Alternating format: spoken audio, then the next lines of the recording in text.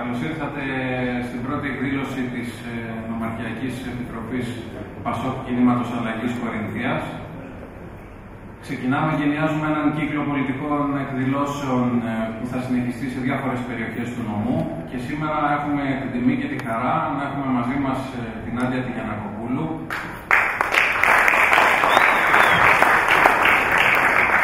η οποία είναι αναπληρώτρια κοινοβουλευτικός εκπρόσωπος, ε, τον Παναγιώτη τον Βλάχο,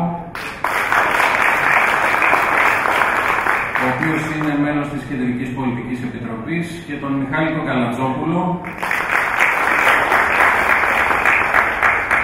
ο οποίος ε, είναι μέλος του Διοικητικού Συμβουλίου του Δικηγορικού Συλλόγου Αθηνών. Η σημερινή μας εκδήλωση αφορά φυσικά τις πολιτικές εξελίξεις, οι οποίες σε αυτή την εκδήλωση θα προσπαθήσουμε να καλύψουμε όσο το δυνατόν καλύτερα το θέμα της ακρίβειας, το θέμα των διεθνών εξελίξεων και φυσικά το ζήτημα που απασχολεί όλους τους, τους τελευταίους μήνες, ε, το μεγάλο ζήτημα των υποκλοπών. Πριν από αυτό, ε, θα, σας, θα ήθελα να πω κάποια πράγματα, λίγα δεν θέλω να σας κουράσω, ο λόγος θα πάει κατευθείαν στους ομιλητές, εξάλλου για αυτούς είμαστε σήμερα εδώ. Ε, ήθελα να πω ότι σε λιγότερο από ένα μήνα, ε, αν δεν κάνω λάθος, συμπληρώνεται ένας χρόνος ε, από το θάνατο της ε, αίμνης της ε, Πρόεδρου μας της Φόφης της Γεννηματά. Η Φόφη Γεννηματά, ε, ομολογουμένος, στα δύσκολα χρόνια του Πασόκ, το ενέπνευσε για να επιβιώσει. Και είναι σίγουρα μια γυναίκα, ένας άνθρωπος, μια πολιτικός, που θα μείνει στην ιστορία με πολύ θετικό πρόσημο. Έτσι λοιπόν και εμείς οφείλουμε να κάνουμε ό,τι περνάει από το χέρι μας για να τιμάμε, να τιμήσουμε την μνήμη της και όχι μόνο τις φώτες της Γεννηματά και τη διδυτή μας, του Ανδρέα του Αμανδρέου και φυσικά να τιμήσουμε και το έργο των υπολείπων εν ζωή προέδρων μας, πρώην προέδρων και να δείξουμε ότι το ΠΑΣΟΚ ξανά διεκδικεί πολιτικό εκτόπισμα στο σήμερα διεκδικεί θέση στις ζωές των Ελλήνων. Σχετικά λοιπόν, ε, να πούμε δύο λόγια για τους ομιλητές μας. Η Νάντια Γιανακοπούλου είναι Ελληνίδα δικηγόρος, απόφοιτη νομική σχολής Αθηνών και υπηρετεί ως βουλευτής δυτικού τομέα Αθηνών με το ΠΑΣΟΚ από τον Ιούλιο του 2019. Στις εκλογές του 2009 και του Μαΐου του 2012 εξελέγει βουλευτής με το Πασόκ στην εκλογική περιφέρεια Μεσσηνίας. Από το 2013 έως το 2014 διατέλεσε Γενική Γραμματέας στο Υπουργείο Περιβάλλοντος, Ενέργειας και Κλιματικής Αλλαγής με σημαντικό έργο. Στις 14 Δεκεμβρίου του 2021 ανέλαβε ύστερα από πρόταση του Πρόεδρου του Κλίματος Αλλαγής Νίκο Ανδρουλάκη, αναπληρώτρια κοινοβουλευτική εκπρόσωπος του κόμματος, ο Κώστας Καρδαλίδη. Ο Παναγιώτης Βλάχος είναι νομικός και σύμβουλος στρατηγικής, επικοινωνίας και καινοτομίας. Έχει εργαστεί ως Διευθυντής Επικοινωνίας και Εμπειρογνώμονας Δημοσίων Πολιτικών στο δημόσιο και ιδιωτικό τομέα. Είναι υπεύθυνος προγραμμάτων του Ινστιτούτου Τοπικής Διακυβέρνησης και Πολιτικών Καινοτομίας στον Ευρωπαϊκό Οργανισμό Δημοσίου Δικαίου και εκ των ιδρυτών του μη κερδοσκοπικού οργανισμού Βουλή Watch. Είναι απόφυτο της Νομικής Σχολής Αθηνών με μεταπτυχιακές σπουδές στο Πάντιο, στο London School of Economics και, και στο Harvard ε, Kennedy School. Είναι μέλος της Κεντρικής Πολιτικής Επιτροπής του ΠΑΣΟΚ και ήταν υποψήφιος βουλευτής στο βόρειο τομέα της Αθήνας. Στο πρόσφατο παρελθόν διατέλεσε αναπληρωτή εκπρόσωπος τύπου και γραμματέας επικοινωνίας του ΠΑΣΟΚ. Ο Μιχάλης Καλατζόπουλος είναι δικηγόρος, απόφυτο της νομικής σχολής του Δημοκρατίου Πανεπιστημίου Θράκης και κάτοχο προγράμματος μεταπτυχιακών σπουδών αστικού δικονομικού δικαίου στην ίδια σχολή. Από το 2007 διατηρεί δικηγορικό γραφείο και ασκεί μάχημη δικηγορία. Το 2008 εξελέγει στο, στο Διοικητικό Συμβούλιο της Ένωσης Ασκουμένων και Νέων Δικηγόρων Αθηνών, ενώ το 2010 εξελέγει εκ νέου στο ΔΟΣΟΥ της Ανδά και διατέλεσε πρόεδρος. Κατά τη διάρκεια της θητείας του, μεταξύ άλλων, καθιερώθηκε νομοθετικά η αμοιβή του ασκούμενου δικηγόρου. Από το 2004 εκλέγεται μέλος του Διοικητικού Συμβουλίου του Δικηγορικού Συλλόγου Αθηνών ενώ στις τελευταίες εκλογές του Νοέμβρη του 2021 η παράταξή του συμμετέχουμε με εκείνον υποψήφιο πρόεδρο πήρε την τρίτη θέση. Είναι ένας από τους δικηγόρους του πρόεδρου του Πασόκ Νίκο Ανδουλάκη που χειρίζονται την υπόθεση των υποκλοπών και την απόπειρα της παγίδευσης του τηλεφώνου του με το κακόβουλο λογισμικό predator.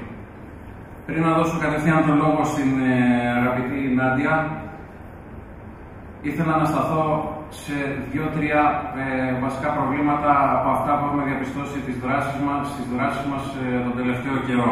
Πρώτον, ήθελα να σταθώ στους αγρότες της Κορινθίας, οι οποίοι αντιμετωπίζουν σημαντικό πρόβλημα, πρόβλημα επιβίωσης πλέον, λόγω των καταστροφών στα χωράφια, είτε από παρατεταμένο καύσωνα, είτε από λειψιδρία, είτε υπερβολική βροχόπτωση και η κυβέρνηση πρέπει άμεσα και δίκαια να προχωρήσει σε αποζημιώσεις για να βγάλουν το χειμώνα. Σχετικά με το ΕΣΥ, σε πρόσφατη επίσκεψή μας διαπιστώσαμε ότι είναι παραμελημένο και ότι δεν είναι στις προτεραιότητες της Νέας Δημοκρατίας. Είναι ένα ΕΣΥ παρατημένο, ένα νοσοκομείο σοβαρά υποστελεχωμένο και κέντρα υγείας τα οποία έχουν πολύ σοβαρά προβλήματα. Πρέπει η Νέα Δημοκρατία να συνειδητοποιήσει ότι δεν νοείται κοινωνικό κράτος χωρίς ισχυρό ΕΣΥ και να πράξεις ανάλογα για τον εξυγχρονισμό και για την αναβάθμισή του. Τέλος, σχετικά με το πράγμα του Ασοπού, που είναι ακόμα ένα, ένα σοβαρό θέμα που απασχολεί την Κορινθία. Δυστυχώς βλέπουμε συνέχεια ότι η Κορινθία στεγνώνει. Σύμφωνα με τις απαντήσεις της κυβέρνησης στις ερωτήσεις που καταθέσαμε στη Βουλή, το πράγμα του Ασοπού θα είναι έτοιμο το κύριο έργο τέλη του 2023. Η λειτουργία του είναι άγνωστο πότε θα ξεκινήσει. Η Νέα Δημοκρατία, η κυβέρνηση πρέπει να δώσει ξεκάθαρες απαντήσεις και να δουλέψει έτσι ώστε το έργο να λειτουργήσει το συντομότερο δυνατόν και να ανακουφίσει όλη την Κορινθία. Αυτά είναι ολίγης. Ε, τα υπόλοιπα, τις θεματικές ενότητες θα τις αναλύσουν επάξια οι ομιλητές μας. Ε, αγαπητή Νάντια, ο λόγος σε εσένα.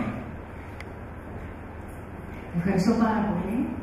Χαίρομαι πάρα πολύ που είμαι σήμερα εδώ πέρα μαζί σας, μαζί με αγαπημένους φίλους, ε, από τα παλιά συναγωνιστές, καινούργιους φίλους. Είναι πάρα πολύ σημαντικό το ότι ξαναβρισκόμαστε. Κάνετε μια νέα αρχή και εσείς οι νομαρχιακοί, η καινούργια νομαρχιακή, η καινούργια τοπική εδώ όλα τα όργανα και θέλω να σας ευχηθώ καλή δουλειά, με όρεξη, με κέφι, με συντροφικότητα, κάτι το οποίο νομίζω το ξαναβρίσκουμε και το είναι πάρα, πάρα πολύ σημαντικό και να είμαστε έτοιμοι παιδιά και να τσαλωθούμε για τους δυνατούς αγώνες που έχουμε να δώσουμε, καλώς και πώς έχουμε μπει σε προεκλογική χρονιά μέχρι φέτος το καλοκαίρι θα έχουν γίνει εκλογές. Άρα λοιπόν ε, ας πούμε ότι αυτό είναι ίσως η πρώτη εκδήλωση και με τα καινούργια όργανά μας η οποία, ε, με την οποία μπαίνουμε και σε αυτήν την παρατεταμένη εκλογική, προεκλογική περίοδο και βεβαίως μπροστά σε έναν πάρα πολύ δύσκολο χειμώνα. Έναν βαρύ χειμώνα, όπως φαίνεται. Είναι πολύ ε, σύνθετη η εποχή στην οποία ζούμε. Μίλησες πιο πριν, γραμματέα μου, για το ζήτημα της ανάγκης να γίνουν εργασίες για το φασοπού.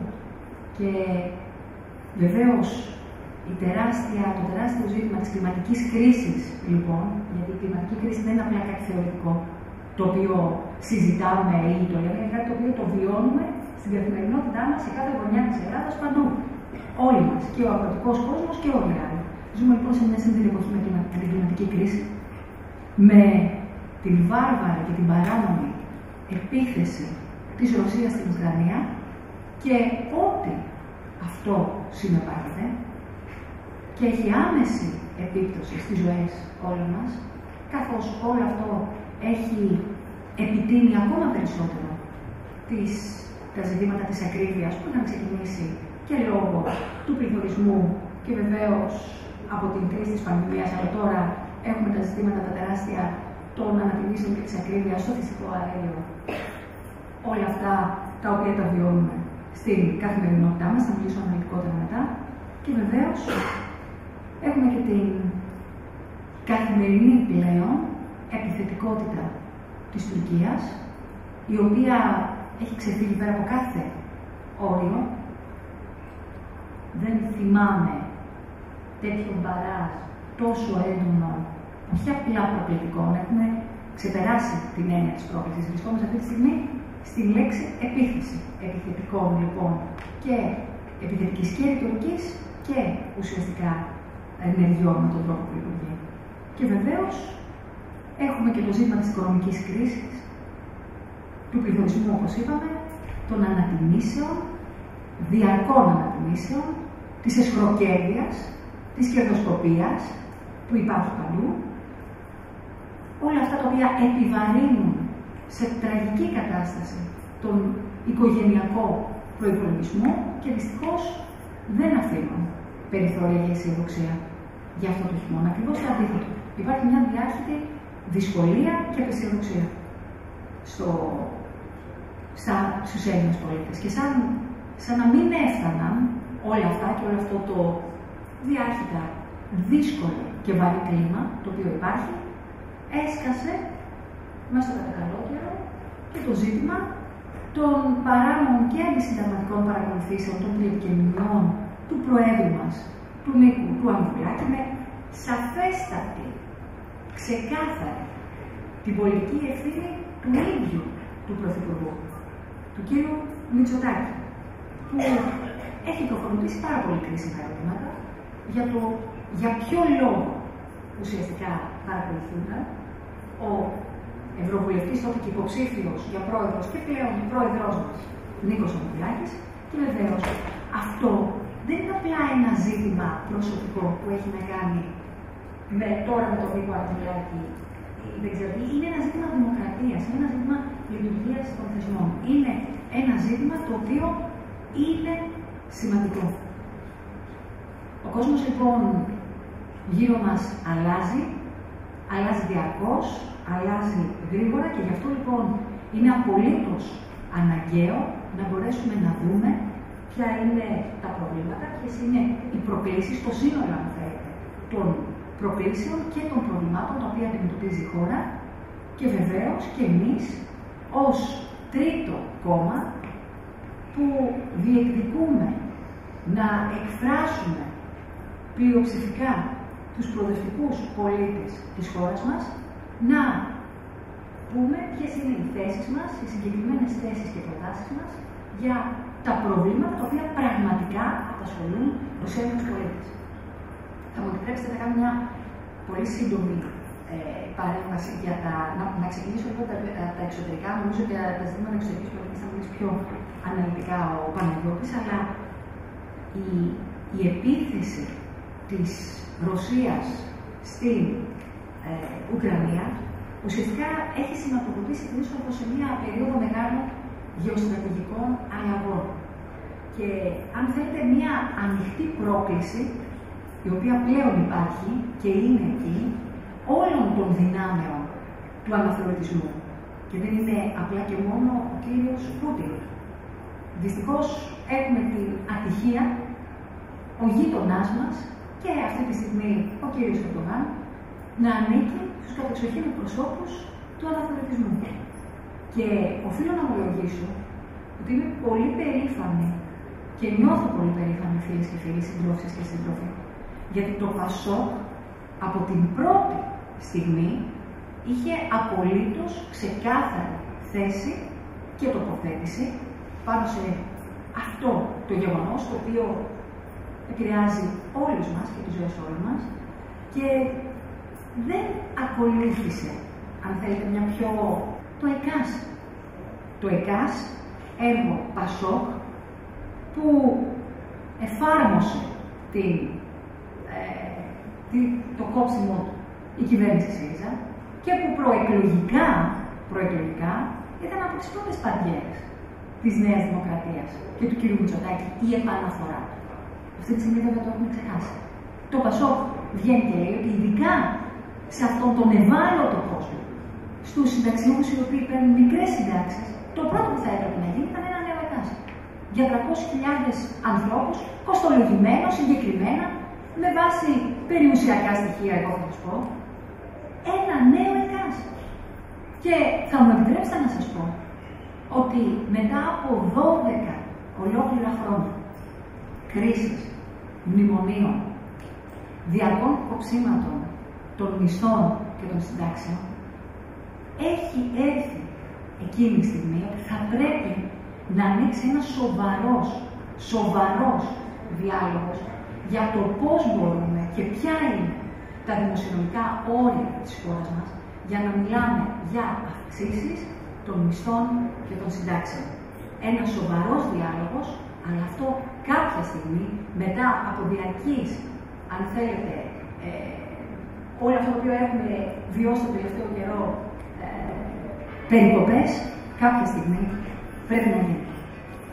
Γιατί με αυτόν τον τρόπο, πολύ ξεκάθαρα, αυτά τα μέτρα ούτε πιάνουν τόπο της κυβέρνησης, τα επιδόματα, επί της ουσίας δεν πιάνουν τόπο και αυτό νομίζω το ξέρετε, το βιώνετε όλοι σας και βεβαίως δυστυχώς δεν λύνουν τα προβλήματα. Αυτά είναι λοιπόν τα μείζωνα προβλήματα τα οποία καίνε, καίνε κυριολεκτικά την ελληνική κοινωνία. Βεβαίως δεν χρειαζόμαστε μαθήματα από αυτόπλητου δασκάλους που έχουμε δει κατά τον τελευταίο καιρό να μας λένε Α, μιλήστε για τα πραγματικά προβλήματα της ελληνικής κοινωνίας. Μην μιλάτε μόνο για τις υποκλοπές. Δεν μιλάμε μόνο για τις υποκλοπές. Μιλάμε και για τις υποκλοπές και βεβαίως είναι ένα σοβαρό ζήτημα. Δεν μιλάμε μόνο για τις υποκλοπές. Και βεβαίως δεν θα κάνουμε χάρη στον κύριο Μητσοτάκη να μην μιλάμε για τις υποκλοπές. Γιατί είναι και αυτό μαζί Βεβαίως πρωτίστως και πρωτεύονται τα ζητήματα της καθημερινότητας, της οικονομίας, της τουρκικής επιθετικότητας, όμως και τα ζητήματα της δημοκρατίας είναι πολύ σοβαρά. Και αλλήμον για τις κοινωνίες που αυτά τα ζητήματα θα τα βάλουν σε δεύτερη, σε τρίτη, σε τέταρτη μέρα. Δεν μπορεί να υπάρχει ευημερία, πραγματική ευημερία σε μια κοινωνία που η δημοκρατία πληγώνει. Και θα μου επιτρέψετε να σας πω να μιλήσει και ο Μιχάλης Παπαδοτζόπουλος πιο αναλυτικά και ως δικηγόρος ε, που, και δικηγόρος του Προέδρου που γνωρίζει τα ζητήματα αυτά ακόμα καλύτερα και περισσότερο από βάθη. Ε, εγώ απλά να πω ότι φοβάμαι πάρα πολύ ότι η εξεταστική η οποία σήμερα έκλεισε και την λειτουργία της με την, με την κατάθεση του Νίκου Αντιλάκη. Φοβάμαι πάρα πολύ λοιπόν ότι αυτή η εξεταστική, φίλες και φίλοι, συντρόφοι και σύντροφοι, δεν θα μας κάνει καθόλου σοφότερου για αυτό το ζήτημα. Δεν θα μας κάνει καθόλου σοφότερου γιατί προφανώς προφανέστατα φαίνεται να υπάρχει μια αμφιβόλευση για να μην μαθευτεί η αλήθεια. Γιατί το λέμε αυτό, Γιατί πρώτον, τα πολιτικά στελέχη αποκλείστηκαν. Το μόνο πολιτικό στέλεχο το οποίο ε, καλείται στην Επιτροπή είναι το θύμα αυτής της υπόθεσης, ο Νίκος Ανδουλάκη. Τι να σου πει το θύμα της υπόθεσης; Ζητάει και ο Νίκος Ανδουλάκη και όλοι μας να πάρουμε απαντήσεις. Τι να πούμε εμείς, τι περισσότερο μπορεί να, να πει λοιπόν ο, ο πρόεδρος μας; Και από εκεί και πέρα, με ευθύνη της πλειοψηφίας, δεν καλείται ούτε ο κ. Δημητριάδης, ούτε ο κ. Γεραπλήτη, ούτε όσοι υπουργοί κλήθηκαν και μίλησαν στην Επιτροπή Χρησμού και Διαφάνειας. Δεν καλείται κανείς από τα υπόλοιπα βέβαια, από τους υπόλοιπους μάρτυρες, οι πρώην διοικητές της ΕΕ επικαλούνται ένα απόρριτο. Ότι άρα δεν μπορούμε να σας πούμε, καλυπτόμαστε από το απόρριτο, δεν μπορούμε να σας πούμε. Άρα, αν αυτό δεν είναι εμπεγμό, τι είναι; Και μιλάμε για ένα απόρριτο που έπεσε ο πρόεδρος της ΑΔΑΕ, ο Ράμος, βγήκε και είπε ότι δεν ισχύει ενώπιον της Εξεταστικής Επιτροπής.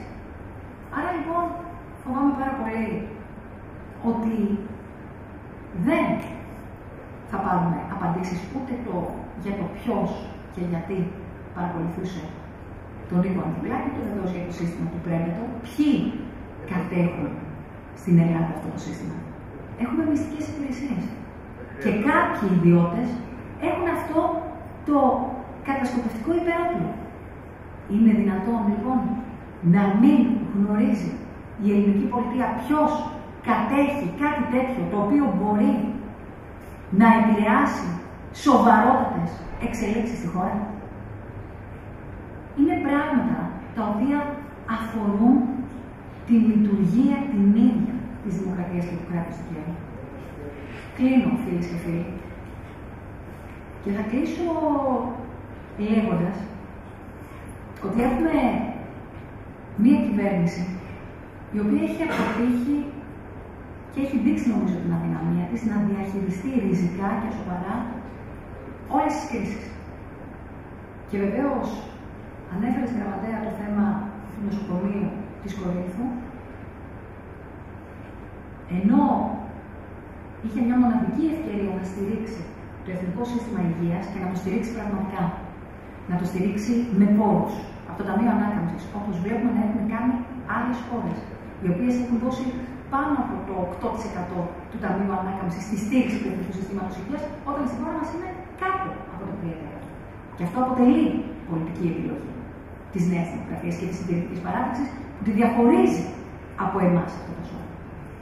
Απέτυχε στην διαχείριση της κρίσης της οικονομικής για όλους τους λόγους του οποίους ανέλησα πιο πριν.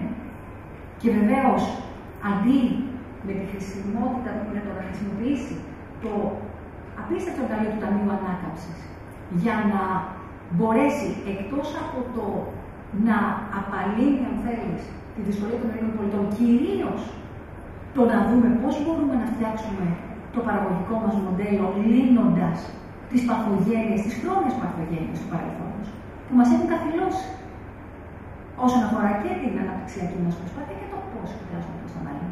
Αντί λοιπόν να διαχειριστεί τις κρίσεις με τον τρόπο που έπρεπε, βλέπουμε να κινείται μια μεταρρυθμιστική άπνοια. Ποια είναι η μεταρρύθμιση, η πανεπιστημιακή αστυνομία, ποια είναι η μεταρρύθμιση που έχει κάνει στη δημόσια υγεία, ποια στην παιδεία, ποια είναι η μεταρρύθμιση που έχει κάνει στη δικαιοσύνη, στην ελληνική δικαιοσύνη; Όταν τις προάλλες είδαμε αυτό το φιάσκο το οποίο συνέβη με την παραγραφή λόγω δημοσιογραφία της υπόθεσης της Siemens. Σε ποια άλλη χώρα είναι αυτό; Άρα λοιπόν, δυστυχώς νομίζω ότι ό,τι είχε να δώσει αυτή η κυβέρνηση το έδωσε. Έχει τεράστιες ευθύνες και για τα ζητήματα διαφάνειας και κράτους δικαίου, τα οποία προσπαθεί να καλύψει και να μειώσει την αξία τους. Έχει δοκιμαστεί, έχει απογοητεύσει, και αυτό είναι πραγματικότητα, και ενέχεται πλέον σε πολύ σοβαρά σκάνδαλα. Από την άλλη, έχουμε το κόμμα της αξιωματικής αντιπολίτευσης, το οποίο ουσιαστικά λειτουργεί ως το καλύτερο μπόνους της κυβέρνησης του κ. Μητσοτάκη.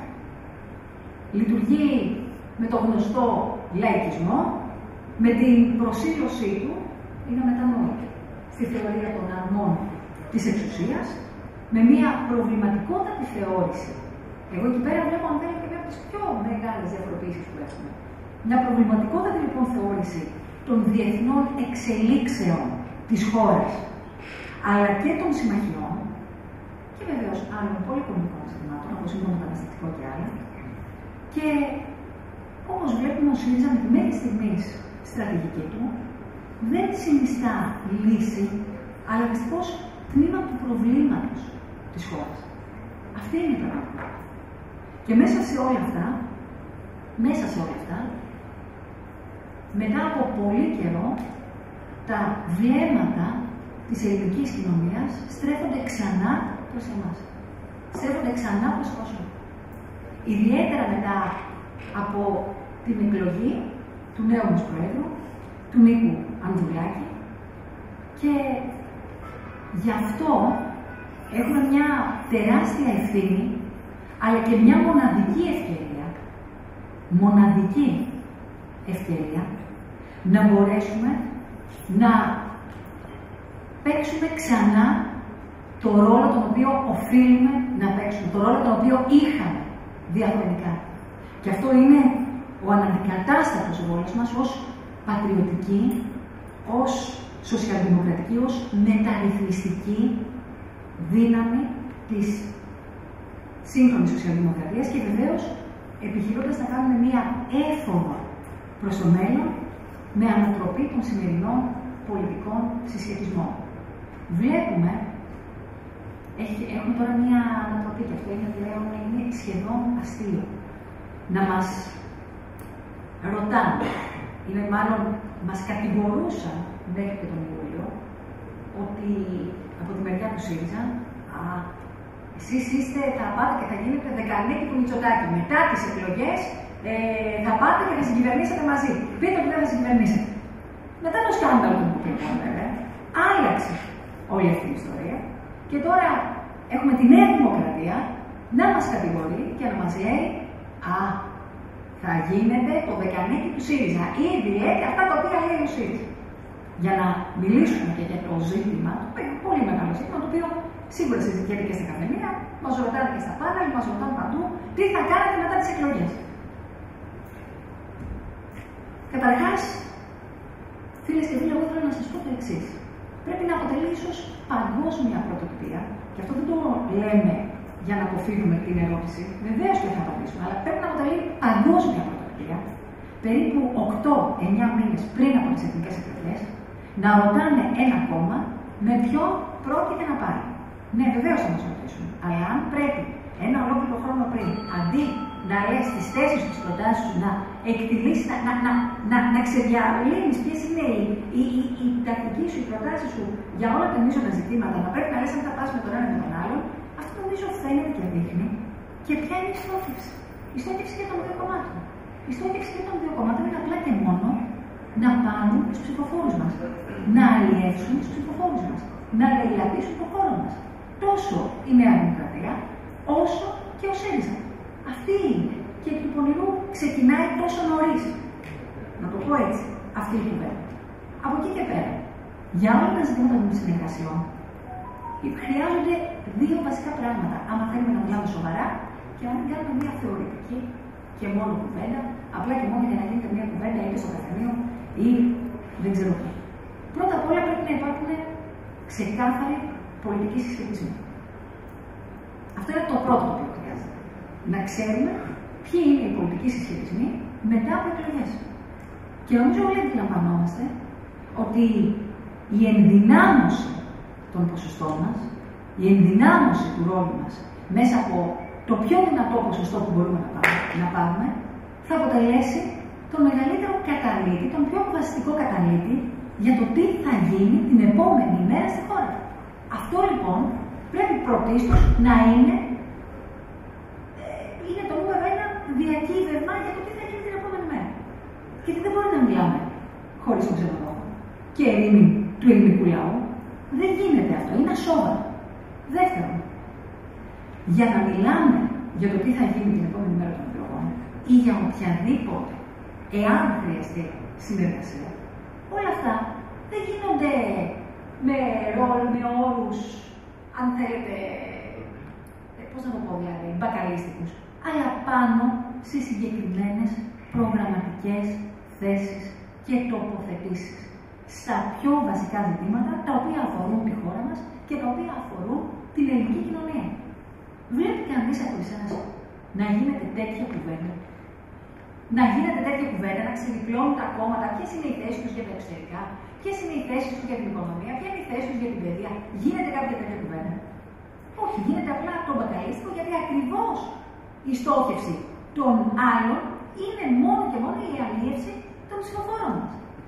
Εμείς λοιπόν σε όλη αυτή την πορεία προς τις εκλογές, το μεγαλύτερο χρέος μας και αυτό το οποίο οφείλουμε να κάνουμε είναι να ξεδιαλύνουμε να ξεκαθαρίσουμε και να βγούμε με πολύ σαφείς θέσεις και προτάσεις για όλα τα ζητήματα, τις οποίες μέσα από τέτοιου είδους εκδηλώσεις και πολλές ακόμα θα μπορούμε να τις σκιαγραφούμε.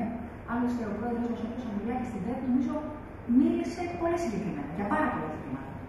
Και βεβαίως, αυτό το οποίο πρέπει να κάνουμε είναι με ένα συγκεκριμένο όραμα για το μέλλον, γιατί δεν πρέπει να ξεχνάμε μέσα σε όλη αυτή την κουβέντα τη νέα γενιά η οποία βρίσκεται εκτός πολιτικής, η οποία πολλές φορές αποστρέφεται την ίδια την έννοια της πολιτικής, που έχουν ψαλινιστεί αν θέλει στα όνειρα και προσδοκίες της μέσα από τη 12η κρίση και που δυστυχώς συνεχίζει να μην βλέπει όραμα και προοπτική, να μπορέσουμε μέσα από τις σοσιαλδημοκρατικές μας θέσεις να δώσουμε απαντήσεις, όχι θα, θα, θα, συγκεκριμένες απαντήσεις σε αυτά τα παιδιά, σε αυτόν σε όλο, σε όλο αυτόν τον κόσμο για να μπορούν να βγουν το μέλλον τους με μεγαλύτερη αισιοδοξία, με μεγαλύτερη ελπίδα.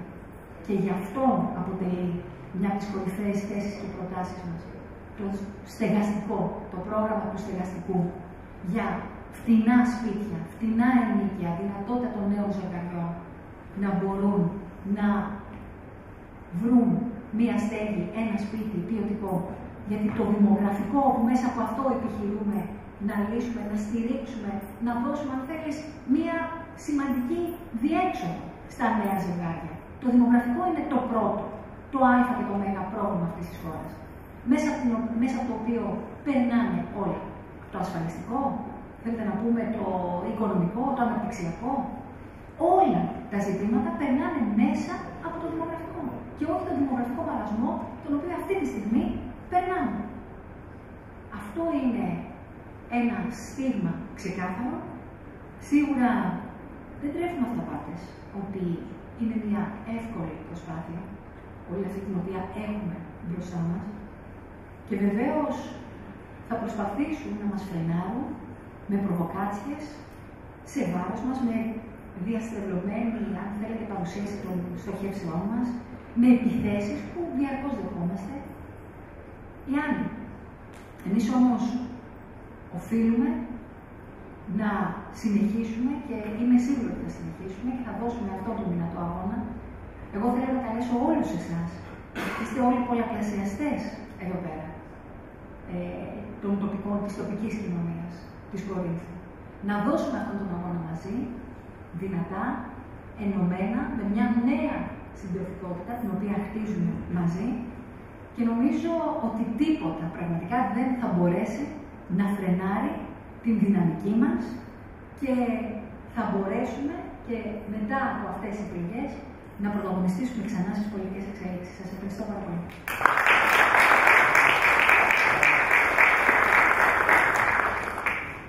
Ευχαριστούμε πολύ αγαπητή Νάντια για το τοποθέτησή σου. Ο λόγος τώρα στον Παναγιώτη Τοβλάκη. Καλησπέρα και από μένα. Είναι πάρα πολύ μεγάλη χαρά και τιμή που είμαστε σήμερα εδώ. Το Πασόκ δεν είναι μόνο ενωμένο και δυνατό, είναι και ανανεωμένο, το οποίο για μας είναι μια προσπάθεια με βαθιά πολιτικά και χαρα... βαθιά ιδεολογικά και πολιτικά χαρακτηριστικά και όχι μόνο οικιακά. Άρα η σημερινή εικόνα και αυτές που εισπράττουμε από όλη την Ελλάδα δείχνει ότι ξανασυνδεόμαστε με την κοινωνική μας βάση, ξανασυνδεόμαστε με τους ανθρώπους που πληγώσαμε τα δύσκολα χρόνια και το κυριότερο ανοίγουμε ξανά τις πόρτες μας στην κοινωνία, γιατί η κοινωνία ζητά διέξοδο. Θέλω να σας ζητήσω προκαταβολικά συγγνώμη, γιατί θα πρέπει να φύγω σε μισή ώρα. Έχω ένα κανάλι στην Αθήνα. Αλλά θέλω να ξέρετε ότι τα είπε και η Νάντια αναλυτικά και διεξοδικά, θα τα πει και ο Μιχάλης αργότερα. Είμαστε στη διάθεσή σας και είμαστε στη διάθεσή σας για να βοηθήσουμε κάθε προσπάθεια σε τοπικό και περιφερειακό επίπεδο αυτή τη στιγμή που αναζητά θέσεις, αναζητά διεξόδους, αναζητά τοποθετήσεις και αναζητά επιχειρήματα απέναντι σε ένα δημόσιο διάλογο στον οποίο προσπαθούν να μας εγκλωβίσουν. Γιατί θέλω να πω αυτό, επεκτείνοντας λίγο τη σκέψη της Νάντιας. Η Νέα Δημοκρατία από το 2019 τι προσπαθεί να κάνει; Προσπαθεί να αποπολιτικοποιήσει το δημόσιο διάλογο. Τι σου λέει; Σου λέει δεν υπάρχει διάκριση αριστερά-δεξιά. Υπάρχει αποτελεσματικότητα. Ο Μητσοτάκης μπορεί να τα κάνει καλύτερα. Σου λέει δεν έχει σημασία αν εγώ σου δίνω 40 ευρώ στο χέρι και στην ουσία επιδοτώ τις εταιρείες ενέργειας, σου λέει σου δίνω λεφτά, οι άλλοι στα παίρνανε. Σου λέει δεν έχει σημασία ότι έχουν βάλει τη χώρα σε ένα ράλι εξοπλισμών. Ναι, να ψηφίζουμε και αμυντικές δαπάνες, αλλά έχουμε και αμυντική βιομηχανία. Θα σου λέει εμείς προστατεύουμε τη χώρα. Οι άλλοι είναι έτσι κι αλλιώς. Και ας έχει ψήφισμα στα χέρια του το Ευρωπαϊκό Κοινοβούλιο με πρωτοβουλία Ανδρουλάκη για να πάει στη Σύνοδο Κορυφής ο κ. Μητσοτάκης και να πει ότι πρέπει να μπει εμπάρκο όπλο στην Τουρκία. Γιατί δεν το κάνει; Άρα λοιπόν ο δημόσιος διάλογος γίνεται με τις δημοσκοπήσεις, γενοβολάνε δημοσκοπήσεις. Δεν έχουμε μόνο πληθωρισμό στις τιμές, έχουμε πληθωρισμό στις δημοσκοπήσεις. Βγαίνουν 6-7 κάθε εβδομάδα. Ποιος τις πληρώνει αυτές τις δημοσκοπήσεις; Μήπως από αποτύπωση της κοινής γνώμης πάνε να κάνουν τη χειραγώγηση της κοινής γνώμης. Γιατί άμα ακούς 6-7 φορές τη εβδομάδα ότι η Νέα Δημοκρατία προηγείται 10 μονάδες και το Πασό χάνει από μισό, ε, κάποια στιγμή θα πεις εντάξει, αυτοί δεν έχουν ελπίδα. Λοιπόν, αυτά δείχνουν μία πολιτική τοποθέτηση και μια πολιτική προσέγγιση, η οποία προσπαθεί να αφαιρέσει τη δυνατότητα κάθε κόμματος και πολύ περισσότερο του δικού μας κόμματος να τοποθετείται με σαφήνεια στα προβλήματα του λαού. Να είναι δίπλα στο λαό και να μιλάμε για τα ουσιώδη. Για την ακρίβεια, για το δημογραφικό, την κλιματική αλλαγή, τους αγρότες που δεν τους δίνουν τα λεφτά που τους χρωστάνε, την παραγωγή που μαραζώνει, τα παιδιά που είναι ακόμα στο εξωτερικό και δεν λένε να γυρίσουν και τη διαφορά την οποία την έχουν κάνει σήμερα στο εξωτερικό του κ. Μητσοτάκης είναι πρωταθλητής και εδώ μας το παίζουν τιμητές των πάντων και του κράτους δικαίου. Και δεν το λέμε εμείς. Βγήκε η Κομισιόν πριν μια εβδομάδα και έκανε μια έκθεση κόλαφο με τον κύριο Μητσοτάκη και την κυβέρνησή του. Δεν εφαρμόζονται δικαστικές αποφάσεις, είδατε τι έγινε με τη Siemens, ατιμορρησία στο έπακρο, διαφθορά, γαλάζια παιδιά στο δημόσιο, μετακλητή διευθυντές σε υπουργεία, καταργήσαν τη δημοσιοπαλληλική ιεραρχία, διορισμοί δασκάλων αθρώοι και αστυνομικών, ενώ στα νοσοκομεία τη βγάλαν στο ΕΣΥ τρισκοκούκος και σηκώσαν στην πλάτη τους όλη αυτή την πανδημία τρία χρόνια. Και προφανώς αυτό που έγινε με την παρακολούθηση του Προέδρου μας είναι το κερασάκι στην τούτα ενός συγκεντρωτικού παρακράτους, το οποίο κατέλαβε το μέτρο Μαξίμου και νόμιζαν ότι είναι μόνιμοι κάτοικοι της εξουσίας και του Μαξίμου και όχι ένικοι, όπως πρέπει να είναι ένας πρωθυπουργός στο περιβάλλον του, οι θεσμοί έχουν συνέχεια. Αν κάθε πρωθυπουργός αντί να βάλει την ΑΕΠ να παρακολουθεί τους Τούρκους, τους βάζει να παρακολουθούν τους πολιτικούς των υπάλληλων, καταλαβαίνετε που θα βρεθεί η χώρα μας. Και δεν είναι ζήτημα Ανδρουλάκη, είναι ζήτημα 10 εκατομμυρίων Ελλήνων. Κάθε πολίτη που έχει το δικαίωμα να τον παρακολουθεί το κράτος. Κάθε πολίτη που έχει το δικαίωμα στην ιδιωτικότητα, στην προστασία της ιδιωτικής του ζωής και φυσικά στους όρους που διεξάγει το πολιτικό παιχνίδι. Φανταστείτε το ένας αρχίσει να παρακολουθεί τον άλλον που θα φτάσουμε. Αυτά τα κάνουν βέβαια κάτι φίλοι του κ. Μητσοτάκη στην Ευρώπη, στον Ορμπάν, οι οποίοι μοιράζουν επιδοματάκια στον κόσμο, αλλά από πίσω και η δικαιοσύνη και η Βουλή και η εκτελεστική εξουσία αρχίζουν και χάνουν τη δημοκρατική τους νοημοποίηση. Άρα λοιπόν συμφωνώ, δεν είμαστε μονοθεματικοί, αλλά δεν θα αφήσουμε την υπεράσπιση της δημοκρατίας εμείς που φέραμε τη δημοκρατία στον τόπο το 1981. Και η παλιά έχετε ένα λόγο παραπάνω να το θυμάστε, γιατί γνωρίζετε πώ ήταν η Ελλάδα πριν το 1981. Δεν μπορεί η παράταξη που ίδρυσε την αρχή για τη διασφάλιση των εξάρτητων επικοινωνιών, την ΑΔΑΕ, που χωρίς αυτή δεν θα μαθαίναμε τίποτα. Δεν μπορεί η παράταξη που εκδημοκράτησε την ΕΕΠ όταν την παρέλαβε ο Αντρέας Παπαδρέου ήταν γεμάτη στρατιωτικούς μέσα. Να μας κουνάνε το χέρι οι μισοτάκιδε. Το όνομα που είναι συμφρασμένο με την αποστασία στον τόπο. Γιατί τι είπε ο Μητσοτάκης στην ΔΕΕ. Γύρισε και είπε σε μια αποστολή του λόγου του και, τον, και νομίζω ότι δεν ακούσαμε καλά, αλλά το ακούσαμε και από τον κύριο Οικονόμου την επόμενη μέρα. Καλούμε λέει κάποιους βουλευτές και στελέχη άλλων κομμάτων να ξανασκεφτούν τη στάση τους μετά τις πρώτες εκλογές. Είναι αυτό κάλεσμα σε αποστασία ή δεν είναι; Και το λέει ένα Μητσοτάκης. Μόνο αυτός μπορεί να το πει. Λοιπόν, η αποστασία έχει όνομα Μητσοτάκης και η χρονοκοπία έχει όνομα Καραμαλής. Και να μην τρεπόμαστε να τα λέμε. Και η αναξιοπρέπεια και η έλλειψη αξιοπιστίας έχει το όνομα του Τσίπρα. Γι' αυτό ο ΣΥΡΙΖΑ συντρόφοι και σύντροφοι δεν μπορεί να αποκαταστήσει σχέση του με την κοινωνία. Γιατί και το πρόγραμμά μας να αντιγράψουμε και λέξη-λέξη να αντιγράψουμε αυτά που λέμε είναι κοντά. Δεν απέχουν πολύ. Ο Μοτσίπρα από ριζοσπάσει αριστερό σε λίγο θα και ο δρόμο. Το πρόβλημά του λοιπόν δεν είναι οι θέσεις. Είναι αναξιοπιστία του, είναι τα ψέματα. Είναι ο συρφετό, ο απολύτικος συρφετό που κουβαλάει από πίσω του ένα κράμα ακροδεξιών μέχρι προαριστερών, οι οποίοι το μόνο που τους νοιάζει να επιστρέψουν στις καρέκλες. Πρέπει να είναι πάρα πολύ καλά. Εγώ θέλω να σας πω ότι αυτή τη στιγμή το Πασόκ δεν ανεβαίνει γιατί είμαστε ωραίοι και νέοι. Ανεβαίνει γιατί υπάρχει κοινωνική ανάγκη. Υπάρχει ανάγκη κοινωνική διέξοδο. Υπάρχει ανάγκη όταν τα σχολεία ιδιωτικοποιούνται και χάνουν την αξία τους. Φτιάξαν τα ολοήμερα και οδηγήθηκαν σε φιάσκο μέσα στι ίδιες μέρες. Υπάρχει πρόβλημα όταν δεν φτιάχνουν κέντρα υγείας και χάσαν τρία χρόνια από την πανδημία για να φτιάξουν εθνικό σύστημα υγείας. Υπάρχει αγωνία γιατί δεν ελέγχουν τις τιμές. Μπορούν να μειώσουν τον ΦΠΑ στα βασικά τρόφιμα, αλλά δεν το κάνουν και προσπαθούν μέσα από τον προπολογισμό που είναι από το δικό μας υδρότα να δώσουν επιδόματα για το ρεύμα που καταλήγουν στις τσέπες των φίλων του κ. Μητσοτάκη στις πέντε εταιρείες ενέργειας της χώρας, τους πέντε ολιγάρχες φίλους του, να τους λέμε γιατί το Πασόκ δεν έχει τις δεσμεύσεις και ποτέ δεν είχε. Και το κυριότερο, κοροδεύουν τον ελληνικό λαό με τις συντάξεις. Περιμέναμε, λέει, να τις πάρουμε, α, τα πήγαινε τώρα λέει στα δικαστήρια. Αλλάζουν τα όρια συνταξιοδότηση. Πού είναι το ΕΚΑΣ, το επικοινωνία. Πού είναι οι παροχές για τα νεόπατα ζευγάρια; Πού είναι οι μικρομεσαίες επιχειρήσεις που απουσιάζαν εντελώς από το λόγο του κ. Μητσοτάκη στη Διεθνή Έκθεση Θεσσαλονίκης; Όλοι οι κοινωνικοί μας σύμμαχοι, συντρόφοι και σύντροφοι απουσιάζουν από το λεξιλόγιο του Μητσοτάκη και του Τσίπρα. Και είναι στη δική, το δικό μας χέρι, στη δική μας αγωνιστικότητα και στη δική μας προσπάθεια να τους φέρουμε κοντά. Όλη η Ευρώπη αυτή τη στιγμή αντιμετωπίζει προβλήματα. Και αυτό που παρουσιάζουν ως άνθρωπος της ακροδεξιάς δεν είναι η πρώτη φορά που συμβαίνει, είναι η δωδέκατη φορά που συμβαίνει. Και η ακροδεξιά θα ανεβαίνει κάθε φορά που έχουμε μια μεγάλη κρίση.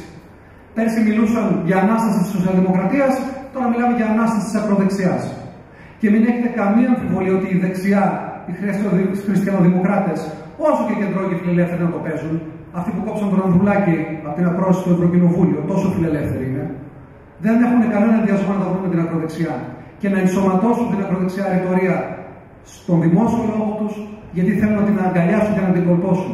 Θα απολωθεί η κατάσταση και στην Ευρώπη και στην Ελλάδα. Και δυστυχώς τα προβλήματα θα μπαίνουν κάτω από το χαλί όταν ανεβαίνουν οι τόνοι, όταν περισσεύει η τοξικότητα και όταν βολεύει το Μητσοτάκη να έχει απέναντι τον Τζίπρα. Γιατί είναι απλά τα πράγματα, δεν θέλει απέναντι του ένα Πασόκ που έχει θέσει, στελέχη, αξίες και πρόγραμμα. Θέλει ένα Τσίπρα ο οποίος δεν έχει πολιτική ραχοκοκαλιά, έχει θέσεις όπως φυσάει ο άνεμο και έχει από πίσω του στελέχη τα οποία δοκιμάστηκαν και κρίθηκαν όταν έφτασαν λεπτού με πετραχίλια στον ελληνικό λαό. Και τον χρέωσαν με τόσο ένα μάλλον ένα μνημόνιο. Κλιματική αλλαγή, δημογραφικό, η εργασία που άλλαξε μέσα στην πανδημία και τα δικαιώματα των εργαζομένων συρρυκνώθηκαν και αυξήθηκαν τα, τα δικαιώματα των εργοδοτών. Ντρόπιασαν το εργατικό δίκαιο, καταργώντα τις συλλογικές συμβάσεις και βάζοντας μπροστά τις ατομικές συμβάσεις. Κατέργησαν τις υπερορίες και στέλνουν τα παιδιά στους διευθυντές, στου προσταμένου να ζητάνε ρεπό όποτε το θέλει ο ιδιοκτήτης της επιχείρησης, ο διευθυντή. Πρωτάκουσα πράγματα. Τα σχολεία σας στην Ευρώπη, εδώ πέρα τα δικά μας μίντια, μας λένε τι ωραία διασχίζει τι διαβάσεις στη Νέα Υόρκη και τι ωραία συναντά Έλληνες ταξιτζίδε ο κ. Μητσοτάκης. Γιατί αυτό είναι το επίπεδο δυστυχώς σε πολλά κανάλια, καλοταϊσμένα κανάλια. Εθνικά ζητήματα. Προφανώς δεν έχουμε κάτσει με σταυρωμένα τα χέρια την πρώτη στιγμή. Το Πασόκ έχει ρίζες πατριωτικές, έχει ρίζες ελληνικές, έχει ρίζες που πιστεύουν στην αξιοπρέπεια, πιστεύουν στην περηφάνεια και πιστεύουν σε μια Ελλάδα ισχυρή στην ευρύτερη περιοχή. Όμως δεν είμαστε ούτε στο 2000 ούτε στο 2010. Το φλερτ με την ευρωπαϊκή προοπτική της Τουρκίας έχει τελειώσει. Είναι μια χήμερα, είναι μια οτοπία. Η Τουρκία πρέπει να μπει κάτω από σκληρές ευρωπαϊκές κυρώσεις και ένα μηχανισμό, ο οποίος δηλαδή κάθε φορά που θα κουνιέται ο κύριος Ερντογάν ή ο μελλοντικός του διάδοχος, θα υπέφτει βαρύ πέλεγες από τις Βρυξέλλες. Δεν μπορεί η Ελλάδα να στηρίζει την Ουκρανία και τα σχέδια του ΝΑΤΟ. Δεν μπορεί η Ελλάδα να αγοράζει εξοπλισμούς και να μας κάνει τον πόντιο πιλάτο ο Γενικός Γραμματέας του ΝΑΤΟ. Και ευτυχώς υπάρχει ο Ανδρουλάκης, ο οποίος γυρνάει στις Βρυξέλλες και τα λέει πρόσωπο με πρόσωπο. Δεν κρύβεται στις συνόδους κορυφής όπως ο κ. Μητσοτάκης, ο οποίος δικαιολογούσε τόσο καιρό την στρατηγική της Γερμανίας και των άλλων χωρών να αγοράζουν αυτή φθηνό φυσικό αέριο και η Ελλάδα να το αγοράζει ακριβά μαζί με τον Ευρωπαϊκό Νότο. Έβαλαν την Ελλάδα να αγοράζει φυσικό αέριο, ένα μεταβατικό καύσιμο που είναι μόνιμο, ορυκτό ακριβό καύσιμο, κλείσαν τις λιγνητικέ μονάδες και τώρα φτάσαμε να επιδοτούμε τα καυσόξυλα. Και από αύριο θα βλέπουμε το πετρέλαιο να είναι πιο ακριβό από την βενζίνη. Το πετρέλαιο κίνησης εννοώ. Που αφορά όλους τους επιχειρηματίες, αφορά τους μεταφορείς, αφορά την καρδιά της παραγωγής Ελλάδας και της οικονομίας. Σας τα λέω αυτά γιατί δεν είμαστε ένα κόμμα διαμαρτυρίας και δεν πρέπει ποτέ να γίνουμε ένα κόμμα διαμαρτυρίας.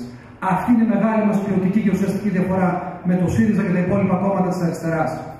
Είμαστε σοσιαλδημοκράτες, είμαστε δημοκράτες σοσιαλιστές και είμαστε περήφανοι γιατί έχουμε μια ιστορία μεταρρυθμίσεων που δεν μπόρεσαν να μιμηθούν ούτε μία. Και όπως εδώ μέσα καταφέρει και μία μεγάλη κοινωνική μεταρρύθμιση που κάνει ο ΣΥΡΙΖΑ και η Νέα Δημοκρατία, θα το χειροκροτήσουμε όλοι μαζί. Ούτε μία δεν θα βρείτε. Γιατί, γιατί δεν είχαν ποτέ την κοινωνική υποστήριξη, δεν είχαν ποτέ την ευαισθησία, δεν είχαν ποτέ το σχέδιο, δεν θέλαν ποτέ μια Ελλάδα απελευθερωμένη από την καταπίεση, από τον αυταρχισμό, από τη φτώχεια και από τις ανισότητες. Δίνουμε λοιπόν μια μάχη ποιοτική, μια μάχη για την επιστροφή της πολιτικής. Δεν είμαστε μονοθεματικοί, αλλά θα είμαστε μονοθεματικοί όταν διακυβεύεται το μέλλον του ελληνικού λαού, η ραχοκαλιά της ελληνικής κοινωνίας που είναι η μεσαία τάξη και οι προνομιούχοι, όλοι εσείς και όλοι εμείς που αποτελούμε την καρδιά του Πασό. Σας καλώ και εγώ λοιπόν αυτόν τον αγώνα, ο οποίος είναι αγώνας αντοχής και διάρκειας, δεν είναι ένας αγώνας που θα κρυθεί με τις δημοσκοπήσεις που θα βγαίνουν κάθε εβδομάδα, να πάρετε στα χέρια σας την παράταξη, να μεγαλώσουμε το δίκτυο, να φέρουμε ανθρώπους που τους πληγώσαμε, ανθρώπους που δυσπιστούν αλλά θέλουν να μας ακούσουν, ανθρώπους που μπορεί μέχρι τώρα να τους μην τους ενδιαφέρει η πολιτική, από κούμπι να μας ακούσουν. Και φυσικά να είναι μπροστάριδε οι νέοι, όχι γιατί θέλουμε μια απλά ηλικιακή ανανέωση, γιατί οι νέοι κουβαλάνε στο πετσί τους μια κρίση και άλλες τόσε που έρχονται και γνωρίζουν πάρα πάρα πολύ καλά ότι όταν δεν έχεις ψευδεστεί στη ζωή και στην πολιτική μπορείς να καταφέρεις πολύ περισσότερα πράγματα. Σας καλώ λοιπόν αυτόν τον αγώνα να τον δώσουμε μαζί. Θα είναι αγώνας νικηφόρο και όποτε αποφασίζει ο κ. Μητσοτάκη να μας πάει στην κάλπη, το Πασόκ θα είναι στους νικητές και θα κοιτάμε απέναντι του χαμένους. Σας ευχαριστώ πάρα πολύ.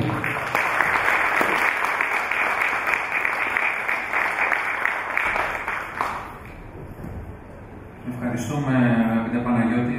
Πάμε τώρα στον ε, Μιχάλη Φωτέλατζόπουλο. Ναι, ευχαριστήσω και εγώ με τη σειρά μου ιδιαίτερα στην Ομαρχιακή Επιτροπή, αλλά και το γραμματέα με τον οποίο έχουμε και κοινές αναφορές από τα πανεπιστημιακά μας χρόνια. Και είμαι συγκινημένος λοιπόν που βρίσκομαι εδώ και βλέπω και πάρα, πάρα πολλούς φίλους από την Κόρινθο που γνωριζόμαστε και έχουμε δώσει μαζί πολλούς αγώνες.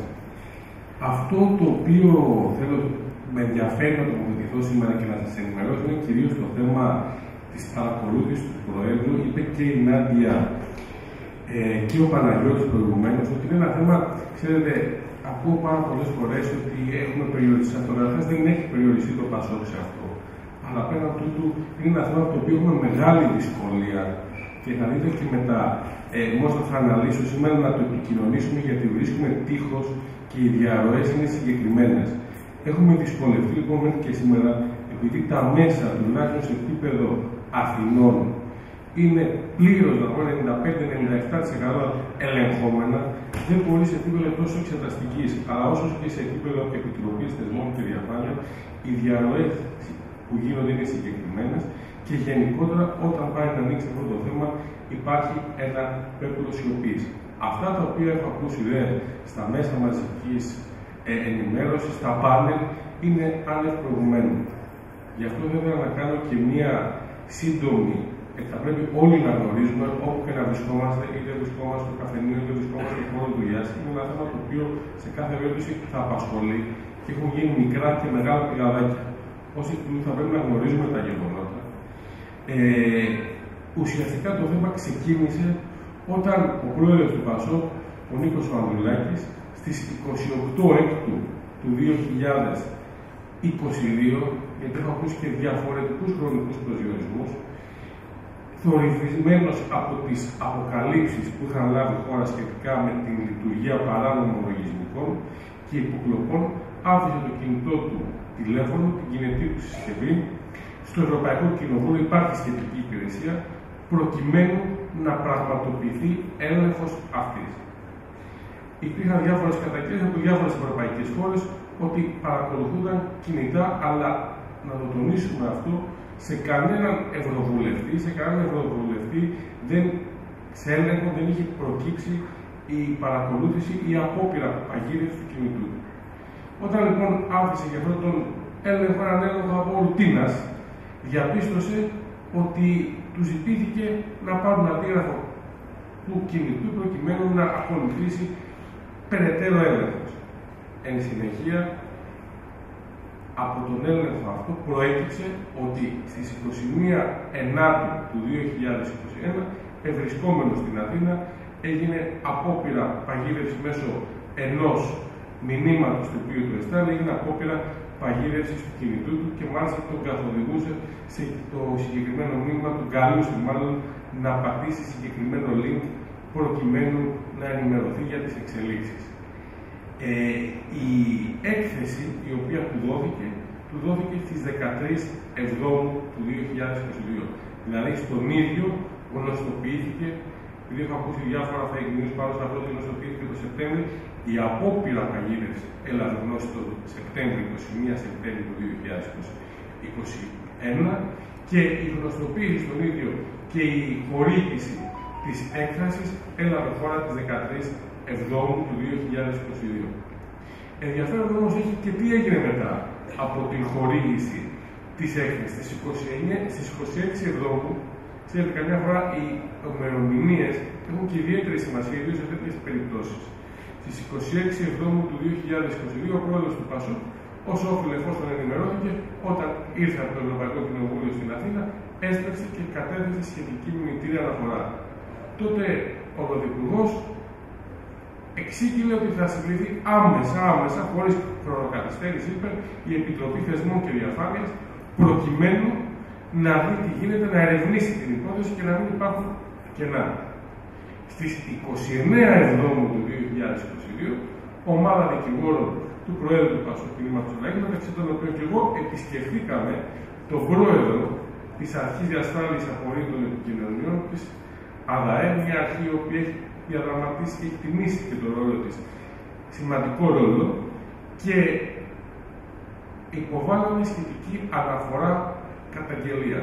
Να σας πω ότι την ίδια ημερομηνία 29 Εβδόμου του 2022 η, αρχή, ε, η Επιτροπή Θεσμών και Διαφάνειας ε, συγκλήθηκε την ίδια μέρα και συνεδρίασε στην Βουλή την οποία, στην οποία εμφανίστηκε ο κ. Κοντολέο.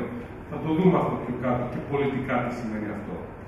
Να πω βέβαια ότι 29 Εβδόμου του 2022 ο κ. Κοντολέο διαβεβαίωσε μάλλον απέφυγε, είπε ότι στην Ελληνική Βουλή ότι δεν παρακολουθεί ο Νίκο, δεν γνωρίζει να παρακολουθεί από την Ελληνική Υπηρεσία Πληροφοριών ο πρόεδρος του ΠΑΣΟ, ο Νίκος Ανδουλάκη. Η αρχή διασφάλισης απόλυτου των επικοινωνιών, ως όφιλε, προέβη σε έλεγχο στον πάροχο, την εταιρεία η οποία ε, διατηρεί τον αριθμό του κινητού του πρόεδρος την 4η Αυγούστου του 2022 για ένα περίοδο λόγο, ενώ η αρχή προέβη τον έλεγχο στον πάροχο στι 4 Αυγούστου του 2022, 4 Αυγούστου και 5 Αυγούστου του 2022, ακούσαμε τις παρετήσεις του Διευθυντή του Γραφείου του Πρωθυπουργού, κ. Δημητριάδη. Η αρχική τοποθέτηση ήταν ότι παρετήθηκε λόγω του τοξικού κλίματος που είχε δημιουργηθεί, τελικά προέκυψαν άλλα στην πορεία, αλλά και του ίδιου του διοικητή της ΑΕΠ. Με μία μέρα δηλαδή διαφορά από την ημέρα που η αρχή έκανε τον έλεγχο στην εταιρεία Wing. Τώρα, επειδή έχουν ακουστεί και πολλά πράγματα, είναι νόμιμη η παρακολούθηση.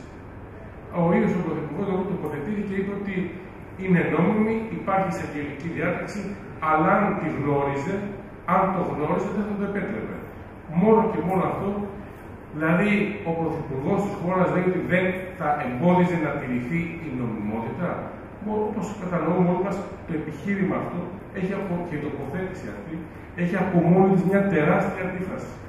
Πέρα από τούτου, είναι προφανές και δεν θα σας κουράσω. Είναι νομικό το θέμα, βέβαια, μια παρακολούθηση ευρωβουλευτή, αλλά και βαθύτερα πολιτικό, κατά την άποψή μου, ε, είναι νόμιμη. Αλλά να σας πω ότι η εισαγγελική διάταξη με την οποία δίδεται η έγκριση προκειμένου να παρακολουθεί και προκειμένου ο βουλευτή είναι διάταξη ανακριτικού χαρακτήρα και η διάταξη αυτή θα πω ότι το γνωρίζει εδώ πέρα και η Νάτια πάρα πολύ καλά βουλευτής και οι βουλευτές και οι ευρωβουλευτές υπάρχουν συγκεκριμένες προποθέσει που έρεται η ασυλία η οποία έχουν και ως εκ τούτου σε καμία περίπτωση δεν είναι νόμιμη μια παρακολούθηση με μια ποινική διάταξη, με μια ανακριτική πράξη που εκδίδεται από εισαγγελέα ενός εν ενεργεία Ευρωβουλευτή. Το Σύνταγμά μας ορίζει συγκεκριμένες προποθέσει και συγκεκριμένες διαδικασίες. Ερώτημα πρώτο όμως. Επιτρέπεται η άρση για λόγους εθνικής ασφαλείας να γίνεται ανώνυμα και χωρίς καμία αιτιολογία; Από ό,τι έχουμε ακούσει, δεν έχουμε δει διάταξη μέχρι σήμερα, δεν υπάρχει καμία αιτιολογία. Γίνεται σε ενεργεία Ευρωβουλευτή και σήμερα με το, με το Σύνταγμα και την Ευρωπαϊκή Σύμβαση των Δικαιωμάτων του Ανθρώπου να μην υπάρχει ουδεμία αιτιολογία. Ερώτημα δεύτερο. Ποιος μπορεί να αξιολογεί όταν μιλάμε δε, αν θεωρήσουμε ότι μπορεί να παρακολουθήσει οποιοδήποτε τις μαγνητοφωνήσεις. Γίνεται να τις αξιολογεί οποιοδήποτε υπάλληλο. Εδώ πέρα έχουμε γίνει μάλιστα ότι οι υπάλληλοι την άλλη μέρα μετά την παρακολούθηση, την αναγγελία της ομολογημένης παρακολούθησης από τον ίδιο τον Πρωθυπουργό, την άλλη μέρα άλλαξαν πώ θα λέει οι υπάλληλοι. Είναι προφανές ότι δεν μπορεί να παρακολουθείτε κάποιος και πολλό δε μάλλον να ακούει τις παρακολουθήσεις ένας, ένα αστυνομικό όργανο. Ερώτημα τρίτο. Είναι δυνατόν να διατάσσεται η άρση του απορρίτου σε πρόσωπο χωρίς να γνωρίζουμε για ποιον διατάσσεται μόνο με έναν αριθμό. Να πω πάνω σε αυτό ότι ο ίδιος ο ίδιος ο πρόεδρος του ΑΝΑΕ, ο κ. Ράμος, είπε ότι ήταν εν γνώση της εισαγγελέα της κυρίας Βλάχου ότι συγκεκριμένη Ε, ο συγκεκριμένος τηλεφωνικός αριθμός ανήκει στον πρόεδρο του Πασού Κινήματο Αλλαγή, τον Νίκο Δωμαδουλάκη, παρότι βέβαια μέχρι και σήμερα το νομοθετικό πλαίσιο το οποίο πρέπει να δούμε δεν είναι σαφές αν πρέπει να αναφέρεται ή όχι. Πάντως, πέρα από αμφιβολίες, από το σχετικό έγγραφο προκύπτονταν σε γνώση της εισαγγελέα, ο οποίο χορήγησε την εισαγγελική διάταξη, την προβληματική αυτή εισαγγελική διάταξη, το, το κινητό τηλέφωνο ανήκει στον πρόεδρο του Πασόκ Κινήματος Αλλαγή. Να πω πάνω σε αυτό ότι σύμφωνα με τα στοιχεία τα οποία δόθηκαν, 15.000 παρακολουθήσεις έχουν λάβει χώρα τον τελευταίο χρόνο και έχουν απορριφθεί μόνο 140 αιτήσεις. Αυτό είναι χαρακτηριστικό τι συμβαίνει σήμερα στη χώρα και όπως είπαν και οι λοιποί ομιλητές, το θέμα αυτό είναι θέμα ευρύτερο δημοκρατίας, ευρύτερης θέμα λειτουργία της δημοκρατίας μας σήμερα και της ποιότητας της δημοκρατίας που υπάρχει. Τώρα να πούμε και λίγο για την αρχή διασφάλισης του απορρίτου των επικοινωνίων. Είναι προφανές ότι οι αρχές που ιδρύθηκαν από το ΠΑΣΟΚ, αν δεν υπήρχε η αρχή διασφάλισης, πιθανότατα σήμερα δεν θα γνωρίζαμε τίποτε για την παρακολούθηση την, του Προέδρου του ΠΑΣΟΚ Κινήματος Αλλαγής. Ε, άκου με την άδεια και αυτό είναι ένα πρόβλημα τεράστιο για, την, για το θέμα της Επιτροπή, για της Εξεταστικής Επιτροπής. Η Εξεταστική Επιτροπή συγκλήθηκε καταρχάς και με, με η Νέα Δημοκρατία ψήφισε παρόν. Από τη μία δηλαδή ψηφίζει παρόν να λάβει χώρα μια εξεταστική επιτροπή και από την άλλη επικαλούνται όλοι όσοι βρίσκονται στην Εξεταστική Επιτροπή του Απορριτό να πω ότι 50 μάρτυρες προτάθηκαν, όχι ένας, δύο ή τρεις, 50 μάρτυρες προτάθηκαν από το Πασό Πύρημα Αλλαγής προκειμένου να καταθέσουν εξεταστική επιτροπή και τελικά οδηγηθήκαν σε 7. Δεν κατέθεσε κανείς. Είναι από τις σπάνιες φορές να το διορθώσουν οι λοιποί ομιλητές που πάμε σε ένα προεδρείο. Το προεδρείο ήταν μονοκομματικό. Δεν υπήρχε κανείς άλλος στο προεδρείο παρά μόνο η Νέα Δημοκρατία. Εφόσον η Νέα Δημοκρατία και ο ίδιος ο Πρωθυπουργός ήθελε να αρχιθεί άπλετος φω του υπόθεση, πώς εξηγείται το γεγονός ότι υπήρχε τέτοια μεθόδευση; Άμα ήταν να, να επικαλεστούν το απόρριτο και να αποκλείσουν όλους τους άλλους μάρτυρες, δεν υπήρχε λόγος να λάβει χώρα η Εξεταστική Επιτροπή. Ψηφίζω δηλαδή παρόν στην πρόταση και συγκροτείται με 148 ψήφους και δεν μετά επικαλούμε το απόρριτο. Εγώ νομίζω λοιπόν ότι θα πρέπει να το ξαναδούμε αυτό το θέμα, να δούμε και το θέμα, γιατί είναι θέμα βαθύτερο δημοκρατίας και το θέμα πώς λειτουργήσαν και η Επιτροπή Θεσμών και Διαφάνειας, να πω ότι στην πρώτη επιτροπή ο ίδιος ο Κοντολέο ήρθε και είπε ότι κανείς δεν παρακολουθείται.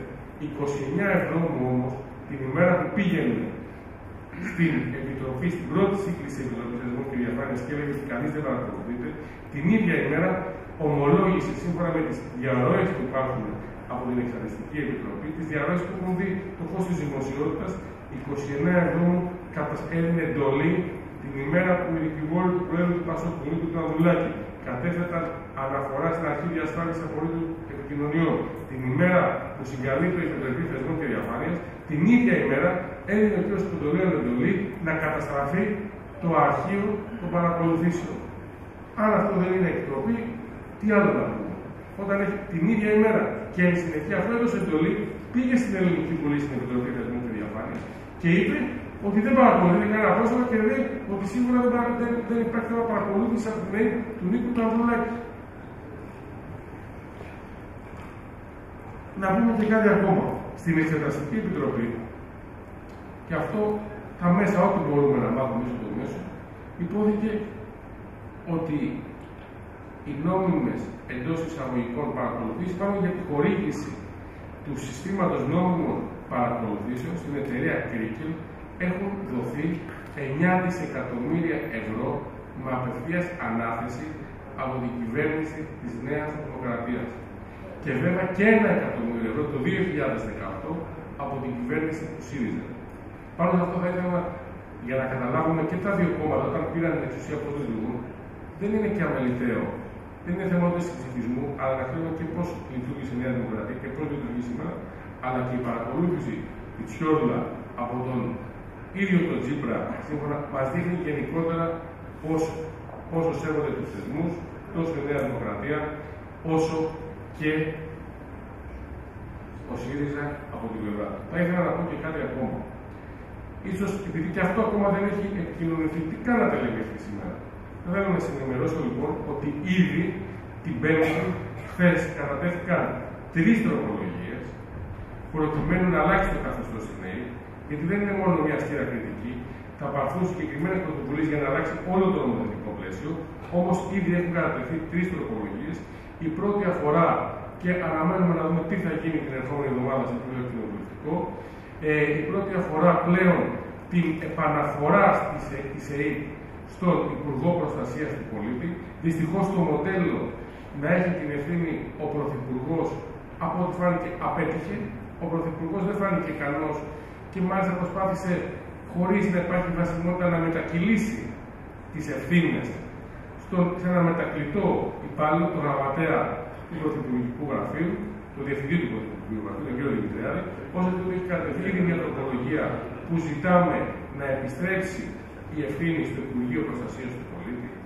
Έχει κατευθυνθεί δεύτερη τροπολογία για να μην υπάρχει καμία αμφιβολία ότι θα πρέπει σε επίπεδο εισαγγελικής διάταξης να αναφέρεται και το ονοματεπώνυμο του παρακολουθούμενου, αυτού που πρόκειται να παρακολουθεί και βέβαια τα λοιπά στοιχεία του, η διεύθυνσή του και η ιδιότητά του, να σταματήσει αυτό που προσπαθούν όλα να γίνουν εκτεκτό. Και το τρίτο είναι να αλλάξει το καθεστώς και να μπορεί αυτός ο οποίος παρακολουθήθηκε και δεν προέκυψε κανένα στοιχείο εις βάρος του, να ενημερώνεται από την αρχή διασφάλιση απορρίτου των επικοινωνιών, προκειμένου να γνωρίζει γιατί παρακολουθήθηκε. Επαναλαμβάνω, αυτό θα συμβαίνει όταν προφανώς και από τα στοιχεία δεν προκύψουν ενδείξεις ενοχής. Και ένα επιχείρημα το οποίο άκουσα και θα ήθελα να τοποθετηθώ πάνω και αυτό είναι ο Νίκος Ανδρουλάκης δεν πάει να ενημερωθεί. Και ρωτάω από πού προβλέπεται η ενημέρωση, όπω είπε και ο ίδιο το αυτή. Υπάρχει, προβλέπεται κάποια ενημέρωση με το υπάρχον νομικό πλαίσιο που μπορεί ένας πρόεδρος κόμματος να ενημερωθεί, αλλά και ένας οποιοδήποτε πολίτης. Τι καλούσαμε δηλαδή τον πρόεδρο του Πασό να μην ακολουθήσει την νόμιμη θεσμική διαδικασία; Η απάντηση ήταν όλα στο φω. Υποβλήθηκε έτοιμα προκειμένου να διαβιβαστεί ο φάκελος στην Βουλή, το σύνολο του φακέλου, να μάθει, να μάθει όλος ο ελληνικός λαός τι πραγματικά συνέβη σε αυτή την περίπτωση. Γιατί αυτό είναι το μείζον. Να γνωρίζει ο ελληνικός λαός. Μέχρι και σήμερα αυτό δεν έγινε. Ενημέρωση στο αυτοί ο δεν υπάρχει. Και εκεί πέρα είναι η διαφορά. Κινήθηκε από την αρχή θεσμικά και ζήτησε να γίνουν όλα γνωστά και όλα όπως προβλέπει η νομοθεσία. Αυτό ήταν από την αρχή μέχρι και σήμερα η στάση, η στάση του Πασό, η στάση του ίδιου του Προέδρου και αυτό είναι ένα θέμα το οποίο θα πρέπει να μας απασχολήσει, να αλλάξει το νομοθετικό πλαίσιο, όπως είπα και προηγουμένως στην ΑΔΑΕ, για να μπορεί ο κάθε Έλληνας πολίτης ο οποίος θίγεται να ενημερωθεί. Σε κάθε περίπτωση, οι νομοθετικές πρωτοβουλίες που πάρθηκαν από την κυβέρνηση με πράξη νομοθετικού περιεχομένου χωρίς κανένα διάλογο, εν μέσω του καλοκαιριού και η τοποθέτηση ενός ακόμα εισαγγελέα σε επίπεδο ελέγχου των διατάξεων, δεν νομίζω ότι είναι η λύση. Προφανές και δεν είναι προφανώς και δεν είναι καμία λύση. Ο ίδιος ο πρόεδρος έχει τοποθετηθεί. Θα πρέπει να πάμε σε σοβαρές αλλαγές στον τρόπο λειτουργίας. Θα πρέπει να πάμε σε, δικαστικά, σε δικαστικό συμβούλιο το οποίο πλέον θα ελέγχει και θα υπάρχει ένας σοβαρός έλεγχος και δεν μπορεί σε μια χώρα είναι κατανοητή η δύσκολη περίοδο που ζούμε. Προφανώς και τα θέματα ασφαλείας είναι υψής της σημασίας, αλλά εδώ πέρα έχουμε φτάσει να παρακολουθούνται 15.000 Έλληνες συμπολίτες μας κατά έτος. Το θέμα είναι σημαντικό, το θέμα πρέπει να αναδεικνύεται, πρέπει να συζητάμε για το θέμα των υποκλοπών. Είναι θέμα δημοκρατίας όπως είπαμε και οι προηγούμενοι και δυστυχώς τα ερωτήματα είναι αναπάντητα. Να πω ότι υπάρχει εκκρεμή το θέμα στην ελληνική δικαιοσύνη, όμως ο πρόεδρος θα σταθεί και στα ευρωπαϊκά δικαστήρια προκειμένου να το αναδείξει εκεί πέρα το, το θέμα και να επιτέλους να μάθει και ο ελληνικός λαός τι έγινε, γιατί όπως έχει πει και ο ίδιος, καθαρός ουρανός αστραπέζεται το κομμάτι. Ευχαριστώ πολύ.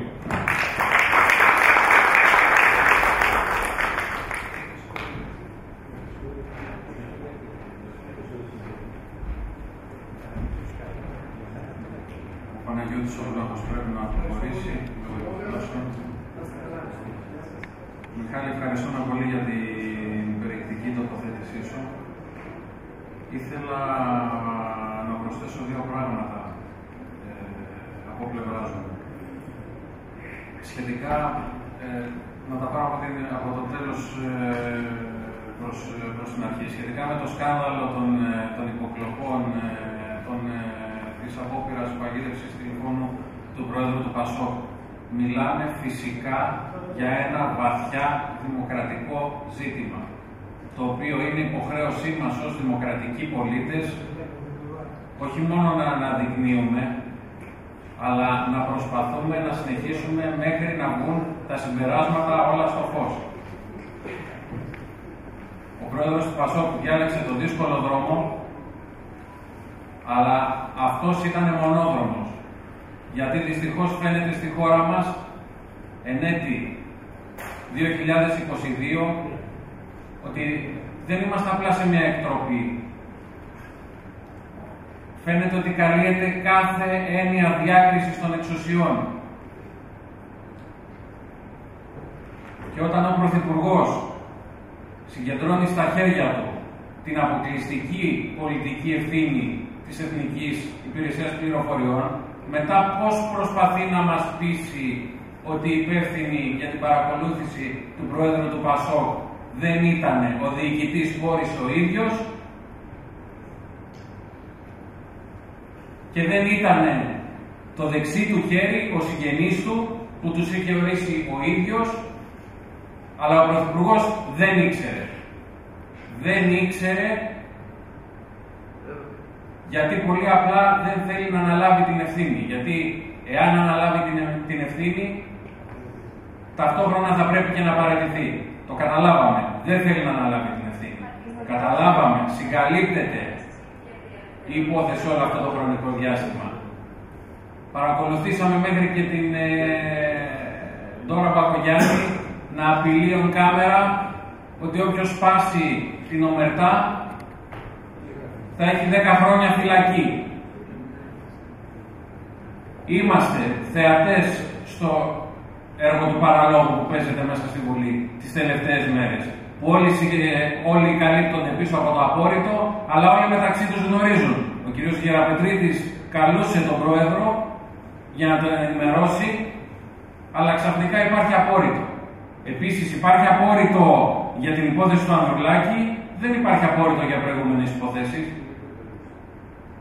Λοιπόν, εγώ θα το προχωρήσω ένα βήμα παρακάτω και θα πω ότι καταλάβαμε ότι δεν θέλουν να πάρουν την ευθύνη, να μας πούνε τουλάχιστον το λόγο. Την τοξικότητα την καλλιεργεί η προσπάθεια αποποίησης κάθε ευθύνης και η προσπάθεια κατάρτισης κάθε λογικής στο συγκεκριμένο θέμα. Ε, σχετικά με, την, ε, με αυτό που είπατε για τον για τον Αλέξη τον Τσίπρα για την διεθνή έκθεση Θεσσαλονίκης. Με τον, για τον κύριο Τσίπρα. Ο κύριος Τσίπρας μου θύμισε τα, ε, στην έκθεση της Θεσσαλονίκης μου θύμισε τα εγγένεια του σταθμού του μετρό που είχε κάνει στη Θεσσαλονίκη πάλι χωρίς να υπάρχει μετρό. Λοιπόν. Ορίστε. Ναι. Λοιπόν, μπροστά στο Μουσαμά, τι θέλω να πω; Ότι από τη μία είδαμε έναν πρόεδρο του Πασόκ, τον Νίκο τον Ανδρουλάκη, να καταθέτει ένα ολοκληρωμένο σχέδιο διακυβέρνησης της χώρας, ρεαλιστικό, και από την άλλη είδαμε τον πρόεδρο του ΣΥΡΙΖΑ να προχωρά σε άλλου τύπου, αλλά ίδιας νοοτροπίας όπως ήταν το θα σκίσουμε τα μνημόνια, έτσι τώρα ήταν η επανακρατικοποίηση της, ε, της ΔΕΗ, ο κατώτατος μισθός ε, στα 800 ευρώ, μακάρι να γίνεται είναι στόχος διαχρονικά του ΠΑΣΟΚ, όπως είπε η κυρία Γιανακοπούλου, είπε την πιο ρεαλιστική ε, στάση πάνω σε αυτό το θέμα. Πρέπει να γίνει διάλογος και να δούμε τι αντέχει να κάνει το κράτος. Δεν μπορείς όμως με απλή παροχολογία μιμούμενος το 2015, ναι, 2022, να περιμένεις ότι θα ξανακερδίσει την αξιοπιστία του ελληνικού λαού επανακρατικοποίηση της ΔΕΗ, μια, μιας ΔΕΗ που ήδη υπερχρέωσαν, έτσι δεν είναι; Λοιπόν, τέλος, για την ακρίβεια, για την κοινωνική κατοικία, είχα πει την τελευταία φορά που είχαμε μαζευτεί πάλι εδώ ότι είναι θέμα πολιτικού DNA. Το Πασόκ πάντα ανησυχούσε για τον μικρομεσαίο. για τον απλό πολίτη. Έτσι λοιπόν εδώ και μήνες ζητάει την κοινωνική κατοικία. Ο πρώτος ο Νίκος Ανδρουλάκης το έφερε στο πολιτικό τραπέζι. Για νέα ζευγάρια, για νέους ανθρώπους, έτσι ώστε να μπορούν να μείνουν στα σπίτια. Για το πλαφόν στη λιανική τιμή ενέργειας. Είναι ο πρώτος που το ζήτησε. Όταν ο κ. Μητσοτάκης ήταν στις Βρυξέλλες και πάλι για πλαφόν στην τιμή της ενέργειας που αγοράζουν οι, οι, οι ηλεκτροπαραγωγοί, ο Νίκος Ανδρουλάκης έλεγε εδώ πλαφόν στη λιανική για να φανεί άμεσα στις τσέπες του κόσμου.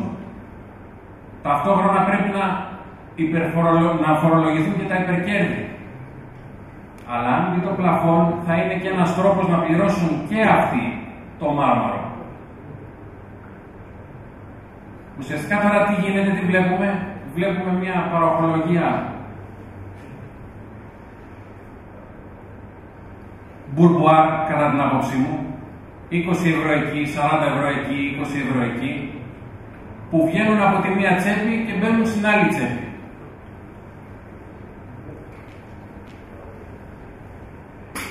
Το κράτος αυτή τη στιγμή πληρώνει το μάρμαρο και ο Έλληνας πολίτης. Κανένας άλλος. Φυσικά και για τη μείωση του ΦΠΑ στα βασικά καταναλωτικά αγαθά έχουμε είναι θέση παγιά μας και για τη μείωση της ειδικής ε, φορολογίας ε, στα καύσιμα. Δεν είναι πράγματα που το ΠΑΣΟΚ, πολλά είναι παραδείγματα που έχουν εφαρμοστεί και σε άλλες χώρες της Ευρωπαϊκής Ένωσης. Λοιπόν, για να ολοκληρώσω, να δώσουμε ερωτήσεις. Ε, αν έχει κάποιος κάποια ερώτηση.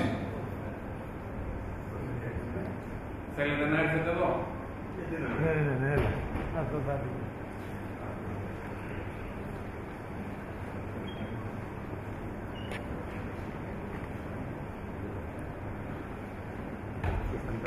Συντρόφια, καλησπέρα. Γεια σου και εσένα. Συντρόφια και συντρόφισσες. Γιατί αυτή είναι μια λέξη που ακούστηκε κανένα δύο φορές απόψε. Είμαστε όλοι φίλοι και φίλοι. Ε, δεν είμαστε φίλοι και φίλοι. Είμαστε εκείνοι που το 81 τα βγάλαμε πέρα. Είμαστε εκείνοι που στο διαχωρισμό ήμασταν ξανά μαζί. Είμαστε αυτοί που τους φέραμε τούτο εδώ το πράγμα που λέει Πασόκ σήμερα να φτάσει στο 15%. Είμαστε ικανοποιημένοι με το 15% αν αύριο γίνονται οι εκλογές. Εγώ προσωπικά το θεωρώ ήταν. Έχουμε μάθει από άλλα ποσοστά. Ούτε μπορούμε να καθόμαστε να σκεφτόμαστε με ποιον θα συγκυβερνήσουμε, αν θα συγκυβερνήσουμε και πώς θα συγκυβερνήσουμε. Αυτά για μένα είναι λέξεις άγνωστες. Δεν υπάρχουν καν μέσα στο λεξιλογείο. Πάμε τώρα λίγο από την αρχή. Υποκλοπές. Όντως, ζήτημα πολύ σοβαρό. Πρέπει να το κουνήσουμε άλλο παραπέρα από εκεί. Εγώ θα μιλήσω όπως μιλάει ο κόσμος στα καρτινία. Γιατί έχω ακόμα την οικονομική δυνατότητα να χαλάω 5-10 ευρώ το βράδυ αφού τελειώσει τη δουλειά μου και να έρθω σε επαφή με τον κόσμο. Ο λαός δεν είναι κουτός. Απλά είναι βουβός. Ξέρει πολύ καλά τι έχει γίνει. Δεν έχω την εντύπωση ότι αυτό το πράγμα μας ευνοεί παραπάνω. Ξέρει ότι όντως έγινε η υποκλοπή, ξέρει ότι κλάψαν συνομιλίες, ξέρει, ξέρει, ξέρει πολλά. Το θέμα είναι πώς μεταφράζεται και τι μεταφράζεται. Ε, εδώ οι, οι φίλοι μας που ήρθαν να πάρουν από την Αθήνα μαζί με την Νάντια, Νάντια καλώ ήρθατε Αμέρικα. Καλά τα. Μας λείπει όμως το γενικό αντικείμενο. Τι είναι το γενικό αντικείμενο; Είδα προχθές ότι γίνανε κάποιες εκλογές στη ΓΕΣΕΒΕ. Και πήραμε ένα ποσοστό λέει 50,7%. Δηλαδή ανεβήκαμε σε 2,7% τις προηγούμενες. Ε; Πήραμε σε 2,7% τι προηγούμενε εκλογέ. Αυτά τα ποσοστά που παίρνουμε σε εκείνε τι εκλογέ μαύρε, σε κάτι δημόσιου οργανισμού, σε κάτι δημόσιε υπηρεσίε, σε κάτι τράπεζε, πού μεταφράζονται μετά. Γιατί έχουμε μείνει στο 14-15%. Έρχεται τίποτα από αυτά σε εμά. Από εκείνο το 24-24,5% που έχει ο Τσίπρας, που δεν είναι ο Τσίπρας, το Πασόκ είναι, που πήγε και κόλλησε πάνω στο Τσίπρα. Μία μερίδα δική μας πήγε και έγινε. Αυτή τη μερίδα μπορούμε να τη φέρουμε πίσω. Τότε θα είμαστε κερδισμένοι. Η Νέα Δημοκρατία με αυτές τις δημοσκοπήσεις, τις πολλές που γίνονται, σύν τον καιρό, κρατάει το ποσοστό της. Και ανεβαίνει μια μοναδούλα. Τεχνητά, ατέχνητα, δεν με ενδιαφέρει.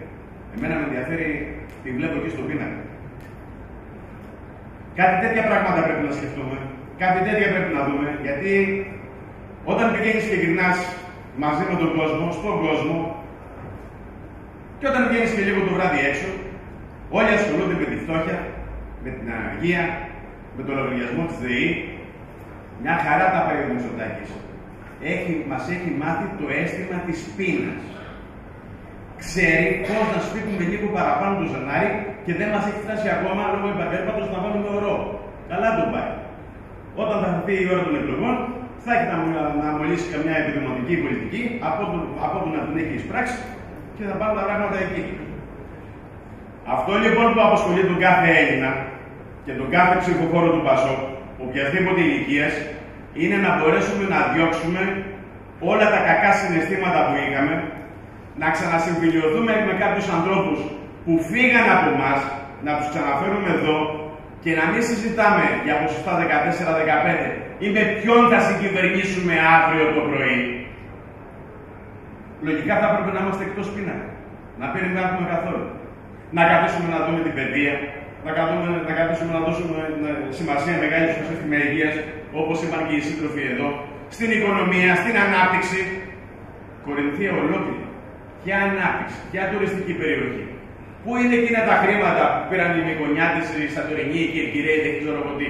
Ήρθε τίποτα εδώ. Πήραμε. Έχουμε κανένα μερίδιο. Απλά εδώ έχουμε το φτωχό τον αγρότη, τον ε, έμπορο, τον μικρό επιχειρηματία, που προσπαθεί να τα βγάλει πέρα. Έστω και με επιδοματικές πολιτικές. Πρέπει να αλλάξουμε προφίλ. Να γίνουμε πιο λαϊκοί. Να πάμε να πιάσουμε ξανά τους αγροτικούς συνεταιρισμούς. Από τη βάση τους όμως. Να μην πάμε στις λαϊκέ, γιατί στις λαϊκέ εισπράττουν σφαλιάρε. Σε εισαγωγικά τους σφαλιάρες, έτσι. Εκεί πλέον έρχεσαι σε αντιπαράθεση με τον αγρότη που έχει βγάλει ένα προϊόν και το φέρνει για να το πουλήσει. Είτε ακριβά, είτε φθηνά, είτε με απόδειξη, είτε χωρίς απόδειξη. Πρέπει να ξαναπιάσουμε τα πράγματα από τη βάση τους. Εγώ αυτό ξέρω, αυτό λέω, αυτό καταλαβαίνω. Δεν μπορεί λοιπόν να πηγαίνεις και να παίξεις μέσα στο νοσοκομείο, γιατί είχα δικό μου περιστατικό το καλοκαίρι. Πήγα τη, τη μάνα μου μέσα. Να μπαίνει με λίμωξη και να βγαίνεις με λίμωξη και να παίρνεις κάτι ότι είσαι καλά. Δεν γίνονται ρε φίλε. Βάλε για αυτού. Βάλε ένα εθνικό σύστημα υγείας να δουλέψει. Βάλε εκείνους τους γιατρούς, τους ιδιώτες που μείναν απ' έξω από τα έσπα πάλι για μία φορά ακόμα να πάρουν για αυτοί ένα φράγκο. Ξεκίνα το πρόγραμμα αυτό που εισηγήθηκε ο Νίκος Ανδρουλάκης και του Πάσο γενικότερα για τα παιδιά, για τους νεολαίους. Μικρινέ τους ακόμα περισσότερο εκείνο το στεγαστικό που θα πάρουν. Φέρτο το σε μηδενική βάση. Κάνε μερικές θέσεις εργασίας. Εξόπλισε ό,τι πρέπει να εξοπλίσεις. Και όταν φτάνουμε να μιλάμε για αμυντική τεχνολογία, ναι. Και εξοπλισμούς, ναι. Τα έχουμε ανάγκη αυτή τη στιγμή, ναι. Τον έξι τον άλλον εκεί πέρα, τον Τούρκο. Που δεν πρέπει να σου κάνει και ποτέ τίποτα, κατά τη γνώμη τη δικιά μου. Απλά αυτός είδε ότι μοιραστήκαν τα οικόπεδα όλα γύρω-γύρω, είναι χαμένος και τελείωσε η παράσταση. Μέχρι εκεί. Εμάς που μας λείπει από το Πασό, όχι σε εμάς εδώ μέσα μόνο, αλλά και ίσως και σε εμάς τα γκράτα στελέχη. Είναι η αμεσότητα με την κοινωνία. Αυτή δεν έχουμε. Καταλάβετε το. Όσο δεν την έχουμε, θα είμαστε χαμένοι. Δεν πάμε παραπέρα. Και να μπορέσουμε να φέρουμε όλες αυτές τις ψήφους που παίρνουμε μέσα στα συνδικάτα να τις μεταφέρουμε για να γίνουν ψήφοι στον ελληνικό λαό. Και όταν μετά θα κατεβούμε στις εκλογές, να μην κατεβούμε για 14-15%. Να είστε καλά.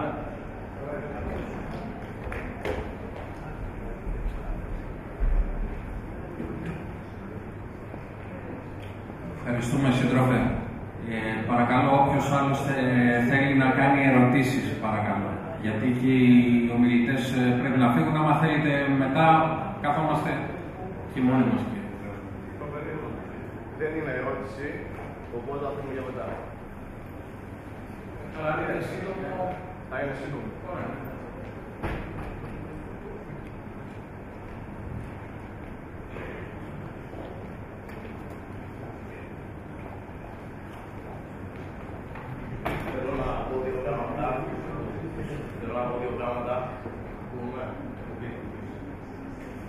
Ακούμε. Θέλω να πω δύο πράγματα. Το ένα αφορά το ζήτημα της εκπαίδευσης της παιδείας που εκτέθηκε και το άλλο αφορά μια στάση που θέλω να αποδείξω στο κόμμα. Καταρχάς, θέλω να ζητήσω από το κόμμα αν μπορεί να κάνει κάτι ώστε νέα παιδιά σήμερα με οικονομικές δυσκολίες και με την οποιαδήποτε και το οποιοδήποτε δύσκολο background, που να ξέρω εδώ, δίνουν τα πάντα, χύνουν αίμα για να πάρουν ένα πτυχίο για ένα καλύτερο αύριο. Αν μπορείτε να μην επιτρέψετε σε μέτρα που δεν έχουν κανένα όφελος, ενάντια σε παιδιά που δεν προσβάλλουν με κανένα τρόπο το σύστημα και δεν κοστίζουν τίποτα παραπάνω, να δώσετε αυτά παιδιά μια ευκαιρία. Θέλω να πω κάτι ακόμα. Εκθέθηκε το ζήτημα τη αποτελεσματικότητα και κανένα δίδυμα στην εσύ που είπατε. Αυτό που θέλω να πω είναι το κόμμα να έχει μια ευκαιριακή, οπορτουνιστική καλύτερα στάση. Χρησιμοποιήστε τα όπλα με τα οποία ο κύριος Μητσοτάκης κερδίζει κόσμο.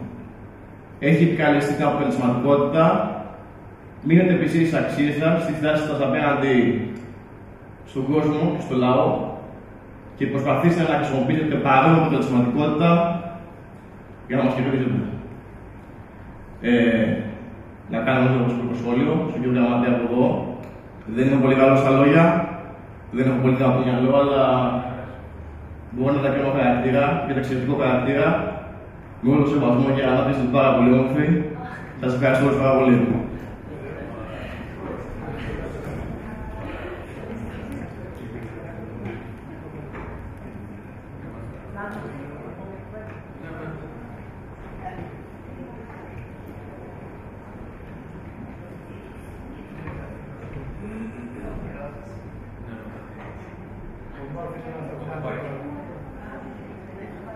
Εντάξει. Καλησπέρα για μένα. Να καλωσορίσω τους ε, αγαπητούς φίλους, την αγαπητή Νάντια ε, και τον ε, Μιχάλη. Ε, να δώσω συγχαρητήρια στον ε, γραμματέα για την πρώτη αυτή ε, νομαρχιακή εκδήλωση που εύχομαι και ελπίζω να υπάρξουν και πολλές άλλες. Θα πιάσω το μήμα από εκεί που το άφησε ο αγαπητός ε, Παναγιώτης ε, Μπάλας, ότι πρέπει πραγματικά να ξανασυναντηθούμε με τον κόσμο, να ξανασυναντηθούμε με την κοινωνία. Αν σήμερα ρωτήσει κάποιος έξω στο καφενείο ε, τον απλό κόσμο, τι πιστεύει, πώς πάνε τα πράγματα, ποιος μπορεί να είναι ευχαριστημένος, στην περιοχή μας εδώ. Κανένας δεν θα πει θα μιλήσει για φτώχεια, θα μιλήσει για τους λογαριασμούς που δεν μπορεί να τους πληρώσει, θα μιλήσει για ένα κράτος ε, που δεν είναι σύμμαχος στον πολίτη, για δημόσιες υπηρεσίες που δεν μπορεί να τις πλησιάσει, για φόρους που έρχονται από το πουθενά, όχι άμεση φόροι, αλλά και έμεση φόροι, θα μιλήσει ότι δεν είναι αισιόδοξος για αυτό το κράτος. Και αυτά επικυρώθηκαν. Μόλις δύο μέρες πριν η Eurostat ανακοίνωσε ότι είμαστε στις τέσσερις χώρες που μεγάλωσε η φτώχεια. Στα 3,5 χρόνια διακυβέρνησης της Νέας Δημοκρατίας είμαστε στις τέσσερις χώρες που η φτώχεια θέργεψε. Αυτή είναι η αποτελεσματικότητα του Μητσοτάκη. Και αυτός αλαζονικά μιλάει για μια άλλη πραγματικότητα. Μιλάει ότι ανέβηκε το ΑΕΠ, μιλάει ότι υπάρχουν καταθέσεις και ποιος από τον απλό κόσμο, από την κοινωνία βλέπει αυτό. Θεωρώ κανένας. Μόνο μία μονομεκλατούρα, μόνο μία ε, κάποιοι ε, μεγάλοι όμιλοι, ε, κάποιοι φίλοι του, ε, κάποια μονοπόλια, ναι ίσως. Γιατί εγώ πιστεύω ότι εδώ που είμαστε, αλλά και πολλοί σε όλη την Κορινθία, κανένας δεν μπορεί να συνταχθεί με τον κύριο Μητσοτάκη πάνω σε αυτά τα ζητήματα που λάβαν χώρα 3,5 χρόνια. Και στην αρχή ήταν το υπόστρωμα της πανδημίας που μας πάγωσε όλους. Αλλά προσέξτε με τι έγινε πάνω σε αυτό το υπόστρωμα. Τώρα έχουμε μια τεράστια οικονομική κρίση η οποία μας καθυλώνει, η οποία δεν μας αφήνει να είμαστε παραγωγικοί σε τίποτα. Ανακοινώθηκε 12,2 πληθωρισμός. Η εικόνα δηλαδή της χώρας ποιο είναι; Ποια είναι; Είναι φτώχεια και είναι και πληθωριστικά έσοδα στο κράτος από τους φόρους του απλού πολίτη που μαζεύονται και δίνονται μπουρμπουάρ και επιδόματα σε κάποιους. Αυτό θέλουμε. Αυτό θέλουμε. Αυτή η Ελλάδα μπορεί να πάει μπροστά. Και μιλάει το Πασόκ για τα άμεσα μέτρα. Γιατί εδώ οφείλουμε να είμαστε αποτελεσματικοί εμείς. Είναι τα άμεσα μέτρα τα οποία πρέπει να προτείνουμε έτσι ώστε και τα προτείνουμε έτσι, ώστε αυτοί, αυτά, αυτοί οι φόροι να μειωθούν και να μπορέσει το εισόδημα να ανακάμψει του κάθε Έλληνα πολίτη. Αλλά συντρόφισσες και συντροφοί, πρέπει να μιλήσουμε για τα μακροπρόθεσμα μέτρα. Πρέπει να μιλήσουμε πώς αυτή η Ελλάδα θα σταθεί στα πόδια της. Ξέρετε πώς ανακοινώθηκε το έλλειμμα, το εμπορικό έλλειμμα, πόσο είναι η αύξηση του εμπορικού ελλείμματος; 70%. Επανερχόμαστε δηλαδή στην εποχή του Κώστα Καραμαλή και αυτών των δημοσιονομικών δεδομένων που μας οδήγησαν στη χρεοκοπία. Και δεν μιλούν τα καλοταϊσμένα κανάλια, δεν μιλάει κανένας γι' αυτό. Γιατί όπως και τότε η Νέα Δημοκρατία έμεινε στο απειρόβλητο και ήρθε το πατριωτικό πασό και έβαλε πλάτη γι' αυτό. Και σε αυτό επάνω λοιπόν εμείς σήμερα πρέπει να βασιστούμε. Σε αυτά βασιζόμαστε. Κρατήσαμε αξιοπρέπεια. Κρατήσαμε με την αείμνηστη φόβη γεννηματά ένα αξιοπρεπές ποσοστό. Αλλά θεωρώ ότι σήμερα έχουμε την ελπίδα να μπορέσουμε να πάμε σε ψηλά ποσοστά. Είναι η παρακαταθήκη μας. Από τον Ανδρέα Παπανδρέου μέχρι τη φόβη γεννηματά. Είναι η ιστορική μας διαδρομή. Για αυτό που είπαν όλοι, ότι, καμί, ότι όλες οι μεταρρυθμίσεις στην Ελλάδα είναι από το Πασόκ. Είναι οι ρίζες μας, οι πατριωτικές. Ότι πάντα έχουμε βάλει πλάτη. Ότι πάντα είμαστε στην πλευρά του να βοηθήσουμε τον κόσμο και την Ελλάδα. Δεν το τέψαμε ποτέ, δεν κάναμε πίσω ποτέ. Πάνω σε αυτά λοιπόν, τα τρία που είπα, και, στις και στην παρακαταθήκη μας και στις ρίζες μας και στην ιστορική μας διαδρομή έχουμε ευθύνη και η χρησιμότητά μας αποδεικνύεται κάθε μέρα με αυτό το πρόγραμμα το οποίο ε, μιλάει ο Νίκος Ανδουλάκης. Δεν μιλάμε μόνο για τις υποκλοπές. Ε, και παρότι όλοι ζητάνε, όλοι στα κανάλια ζητάνε να μην μιλάμε για τις υποκλοπές, θα συνεχίσουμε. Γιατί πάνω απ' όλα είμαστε ένα κόμμα, είμαστε το κόμμα της δημοκρατίας. Είμαστε το, κόμμα, το κόμμα των θεσμών. Είμαστε το κόμμα του κράτους δικαίου. Είμαστε το κόμμα το οποίο θέλουμε να προστατεύσουμε τον απλό πολίτη. Θέλουμε να προστατεύσουμε τον δημόσιο υπάλληλο. Θέλουμε να ε, προστατεύσουμε τον δημόσιο λειτουργό, τη δικαιοσύνη, να μην μπορεί κανένας να τον παρακολουθήσει, να μην υπάρχει ενός ανδρός αρχή, να μην είναι όλα κάτω από τη σκέψη ενός που κατέλαβε την εξουσία. Είμαστε όλα αυτά λοιπόν που μπορούμε εμείς χειροπιαστά να δώσουμε στον ελληνικό λαό. Το έχουμε κάνει και στο παρελθόν. Αντέξαμε, είμαστε εδώ και νομίζω ότι μπορούμε να ελπίζουμε σε μεγαλύτερα ποσοστά. Δεν είναι ο στόχος μας όμως μόνο αυτός. Είναι ο στόχος μας να βλέπουμε και να είμαστε χρήσιμοι για τον πολίτη. Αυτό πρέπει να έχουμε κατά νου. Συμφωνώ λοιπόν απόλυτα ότι πρέπει να συνδεθούμε με την κοινωνία. Αλλά πιστέψτε με, και οι εποχές έχουν αλλάξει. Με το να μιλάμε εδώ, κάποιοι είναι έξω και μας ε, ε, παρακολουθούν. Κάποιοι θα μας ακούσουν αύριο στα μέσα ενημέρωσης. Όλοι εμείς είμαστε πολλαπλασιαστές για εκεί έξω. Άρα λοιπόν η αξιοπρέπεια που κρατάμε, η σταθερή μας πορεία μέχρι τώρα, η πατριωτική μας πρόθεση ε, είναι τα εχέγγυα για αυτό που μπορούμε να προσφέρουμε στην Ελλάδα. Είμαστε περήφανοι που είμαστε Πασό, εγώ το λέω και θα συνεχίσω να το λέω. Και αν σήμερα θα ψηφίσω Πασό, θα ψηφίσω με ακόμα μεγαλύτερο ζήλο και με ακόμα μεγαλύτερη ένταση ακριβώς γιατί 3,5 χρόνια τη διακυβέρνηση της Νέας Δημοκρατίας ο κόσμος όλος, ο απλός πολίτης φτώχυνε. Και είναι η ευθύνη μας να μην το επιτρέψουμε πια να πάει παραπέρα. Λοιπόν, σας ευχαριστώ πολύ. Να είστε καλά.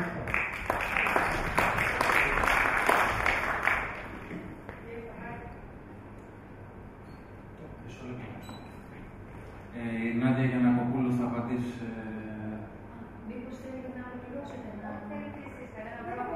έχει ζητήσει άλλους να Α, όχι, μπορούμε δηλαδή σίγουρα έχουμε ένα τέταρτο σίγουρα Σίγουρα. μέχρι να μπορέσουμε να μπορούμε να δούμε.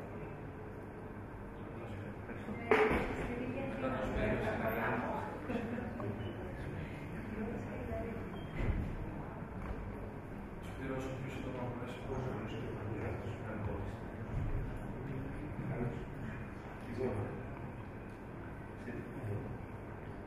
Συντρόφοι και σύντροφοι, καταρχάς να χαιρετήσω τους συντρόφους που θα την Αθήνα να μας δουν, να μας επισκεφτούν. Θα είμαι πάρα πολύ σύντομος. Θέλω να πω δύο λόγια μόνο. Όσον αφορά το θέμα της οικονομίας, υπάρχουν εκθέσεις οι οποίες αναφέρονται ότι η Ελλάδα είναι η δεύτερη χώρα σε φτώχεια στην Ευρωπαϊκή Ένωση. Και τι σημαίνει αυτό; Λοιπόν, επειδή λέτε ποιος είμαι, είμαι ο Σπύρος Σοφράκος, είμαι μέλος της Κεντρικής Πολιτικής Επιτροπής του ΠΑΣΟΚ. Ε, τι έλεγα; Έλεγα ότι η Ελλάδα είναι η δεύτερη χώρα σε φτώχεια στην Ευρωπαϊκή Ένωση. Να το πούμε σε απλούς αριθμούς. Το 29,5% των πολιτών ζει κάτω από το όριο της φτώχειας. Περίπου το 30%. Πώς; Μετά τα επιδόματα. Αυτό το ποσοστό, το 30% που σας λέω, είναι μετά τα επιδόματα που δίνει η κυβέρνηση. Όλα τα power pass, τα fuel pass κτλ.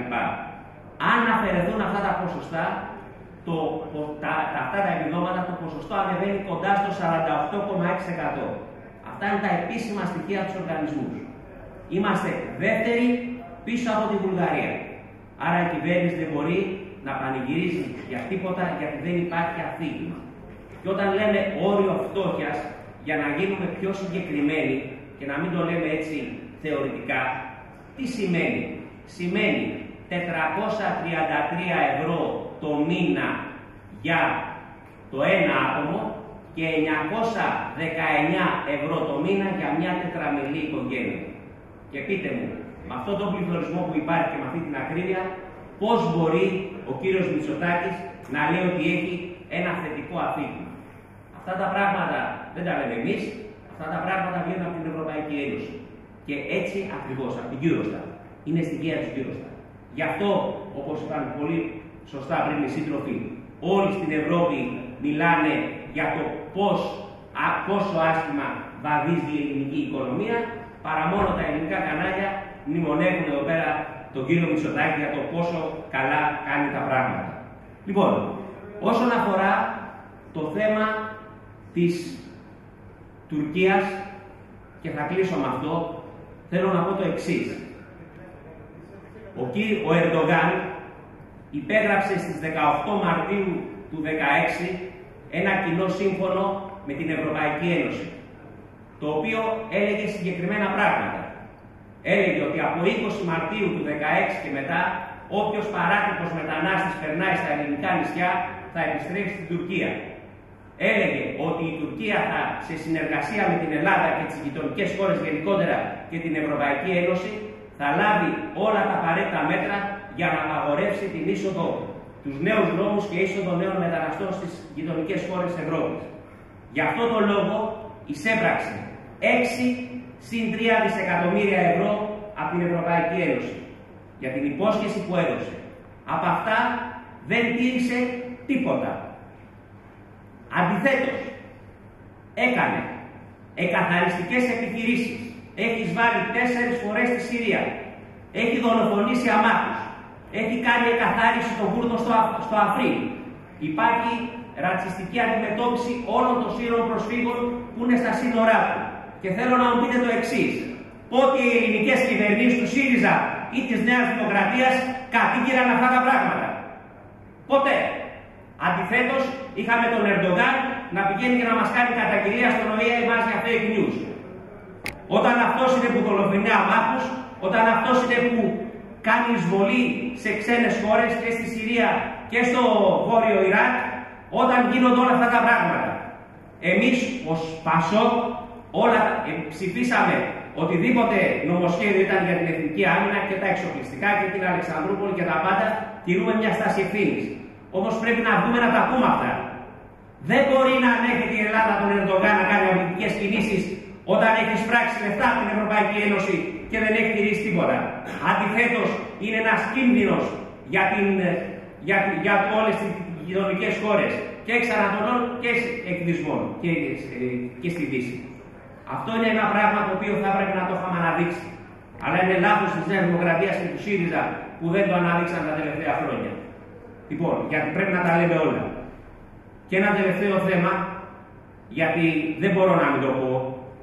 Είδα τον Αλέξη τον Τσίπρα στην διευθυνή έκθεση Θεσσαλονίκης να βγαίνει και να λέει για την επανακρατικοποίηση της ΔΕΗ. Θέλω να πω το εξής. Ακόμα και αν επανακριτικοποιηθεί η ΔΕΗ και δεν πάρουμε το 51%, αλλά από το 34% που τώρα να πάρουμε το 100% πίσω.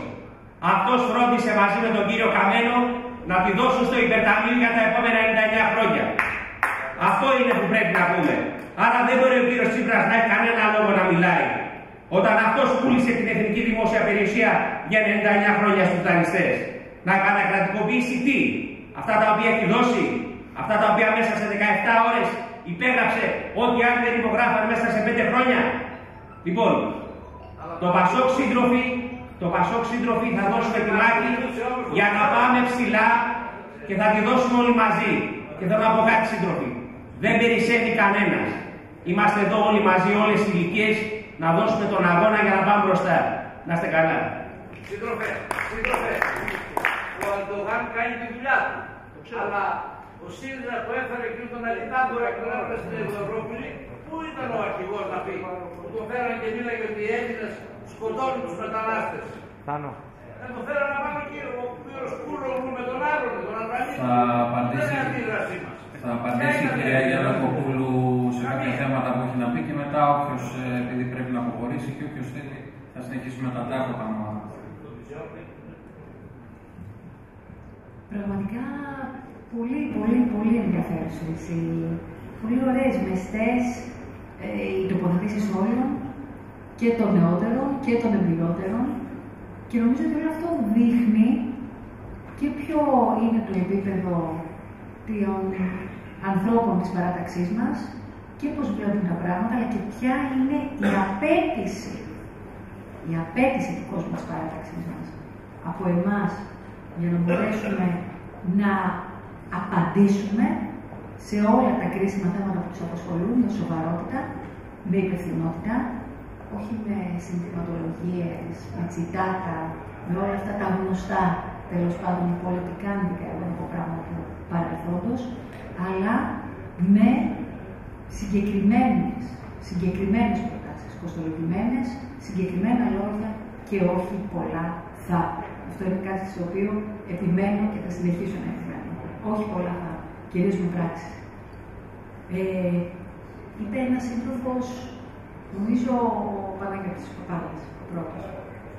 Καταρχάς, για το ότι είμαστε σύντροφοι, πρώτα και πάνω απ' όλα. Βεβαίως και είμαστε σύντροφοι και πολλές φορές, δεν ξέρω αν το παρακολουθήσατε, επέμεινα στην ανάγκη να βρούμε μια νέα συντροφικότητα μεταξύ μας.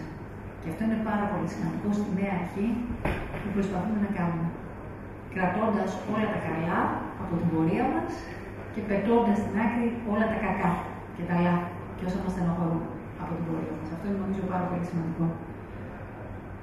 Για το εσύ που υπόθηκε και για το ζήτημα και της κατάστασης στο νοσοκομείο, στην Κόρινθο, στην περιφέρεια, μα ακριβώς αυτά είναι τα ζητήματα τα οποία καλείται ειδικά ένα σοσιαλδημοκρατικό κόμμα να λύσει. Έτσι δεν είναι; Γιατί βγήκε και η έκθεση Λίτρα, Τσιόδρα της προάλλης που δεν μας έκανε να κάνουμε σοφότερους. Καθόλου σοφότερους δεν μας έκανε. Απλά επιβεβαίωσε αυτό το οποίο το γνωρίζουμε όλοι. Ότι υπάρχει μια τεράστια ανισότητα ανάμεσα στην, στο κέντρο και στην περιφέρεια. Ανάμεσα στα νοσοκομεία του κέντρου και τα νοσοκομεία της περιφέρειας και ότι είναι υπερπολαπλάσια η θνητότητα στα νοσοκομεία της περιφέρειας, γιατί ακριβώς δεν έχουν τους ίδιους πόρους, πόρους χρηματικούς, πόρους ανθρωπίνου δυναμικού, πόρους εξοπλισμού, γιατί δυστυχώς αυτή είναι η πραγματικότητα και αυτό το οποίο το Πασόκ αντιμετώπισε με τη δημιουργία του ΕΣΥ, γιατί ξέρουμε πώς ήταν τα πράγματα πριν τη δημιουργία του ΕΣΥ και μετά, ξέρουμε βέβαια και ποια ήταν η πορεία του ΕΣΥ στα χρόνια, το πώς δυστυχώς αποδυναμώθηκε με τα λάθη, με τις παθογένειες και τι καλούμαστε τώρα ως σοσιαλιστική, σοσιαλδημοκρατική δύναμη να κάνουμε για τη στήριξη του εθνικού συστήματος υγείας, για τη στήριξη των νοσοκομείων, ειδικά στην περιφέρεια, που υποφέρουν ακόμα περισσότερο.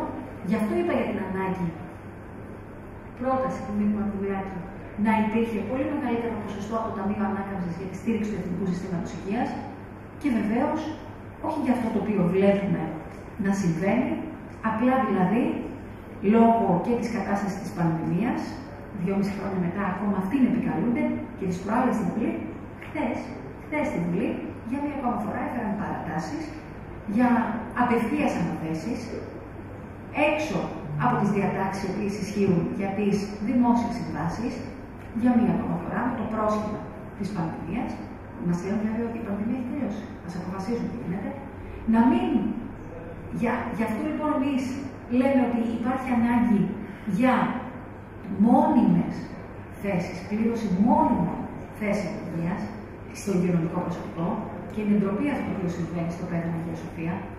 3.000 ε, προγραμματισμένα ραντεβού για χειρουργία παιδιών ουσιαστικά να αναβάλλονται και το μόνο το οποίο να κάνει ο κύριος Πλεύρης είναι από να, να μεταφέρει τρεις θέσεις αναισθησιολόγων από άλλα νοσοκομεία, όταν υπάρχουν 10 και νέες οργανικές θέσεις. Γι' αυτό δεν υπάρχουν λεφτά. Ενώ για τον στρατό, για τον στρατό των μετακλητών που έχουν υπάρχουν. Αυτά ακριβώς είναι τα μεγάλα ζητήματα τα οποία καλούμαστε να απαντήσουμε, τα οποία είναι αυτονόητα, αυτονόητα. Αυτές οι, οι λύσεις που λέμε, αυτά τα πράγματα που λέμε, είναι αυτονόητα στη συζήτηση με τον οποιοδήποτε αλλά όχι τόσο αυτονόητα για την κυβέρνηση τη Νέα Δημοκρατία. Αυτά λοιπόν είναι πολύ σοβαρά θέματα.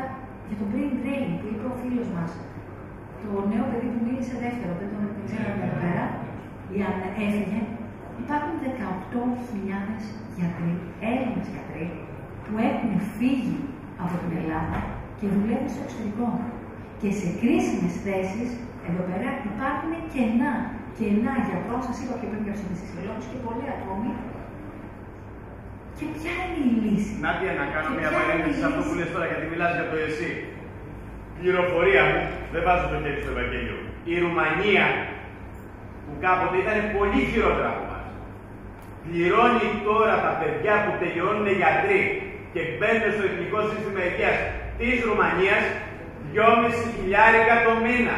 Και, εδώ ένα παιδί που χαλάει 12 χρόνια, ένα παιδί που χαλάει 12 χρόνια από τη ζωή του, μέχρι να μπορέσει να πάει να διοριστεί κάπου, πάει με 7,5 και με 9,80.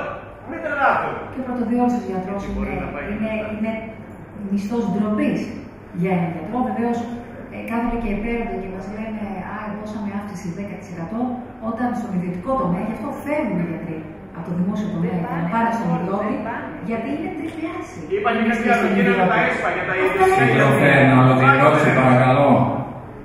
Ε, όχι, δεν, δεν έχω κανένα πρόβλημα και μου αρέσει να, να, να έχουμε έναν ανοιχτό διάλογο και να λέτε ότι, ότι, ότι τέλος πάντων βοηθάει και συνεισφέρει σε αυτό.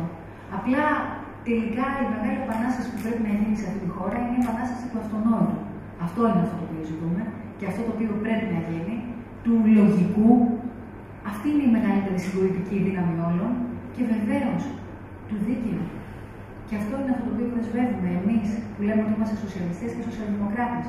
Γιατί απέναντι σε όλες τις προκλήσεις της νέας εποχής, απέναντι σε όλες τις προκλήσεις της νέας εποχής, της νέας εποχής, επαναλαμβάνω, γιατί παραδείγματος χάρη σε όλο τον υπόλοιπο κόσμο έχουν αρχίσει να μιλούν για το τι ακριβώς θα επιφέρει η ρομποτική και η είσοδός της στην αγορά εργασίας, και μιλάνε έρευνε σοβαρές σε όλο τον κόσμο ΤΕΚ, σημαίνει μείωση κατά 30% των θέσεων εργασίας. Και εδώ πέρα στην Ελλάδα ακόμα μιλάμε για πράγματα τα οποία έγιναν στο δημόσιο διάλογο τη δεκαετία του 80 και του 90. ακόμα δεν συζητάμε για όλα αυτά τα οποία έρχονται με φόρα, όχι από το μέλλον, από το παρόν, γίνονται σε όλες τις άλλες χώρες του κόσμου.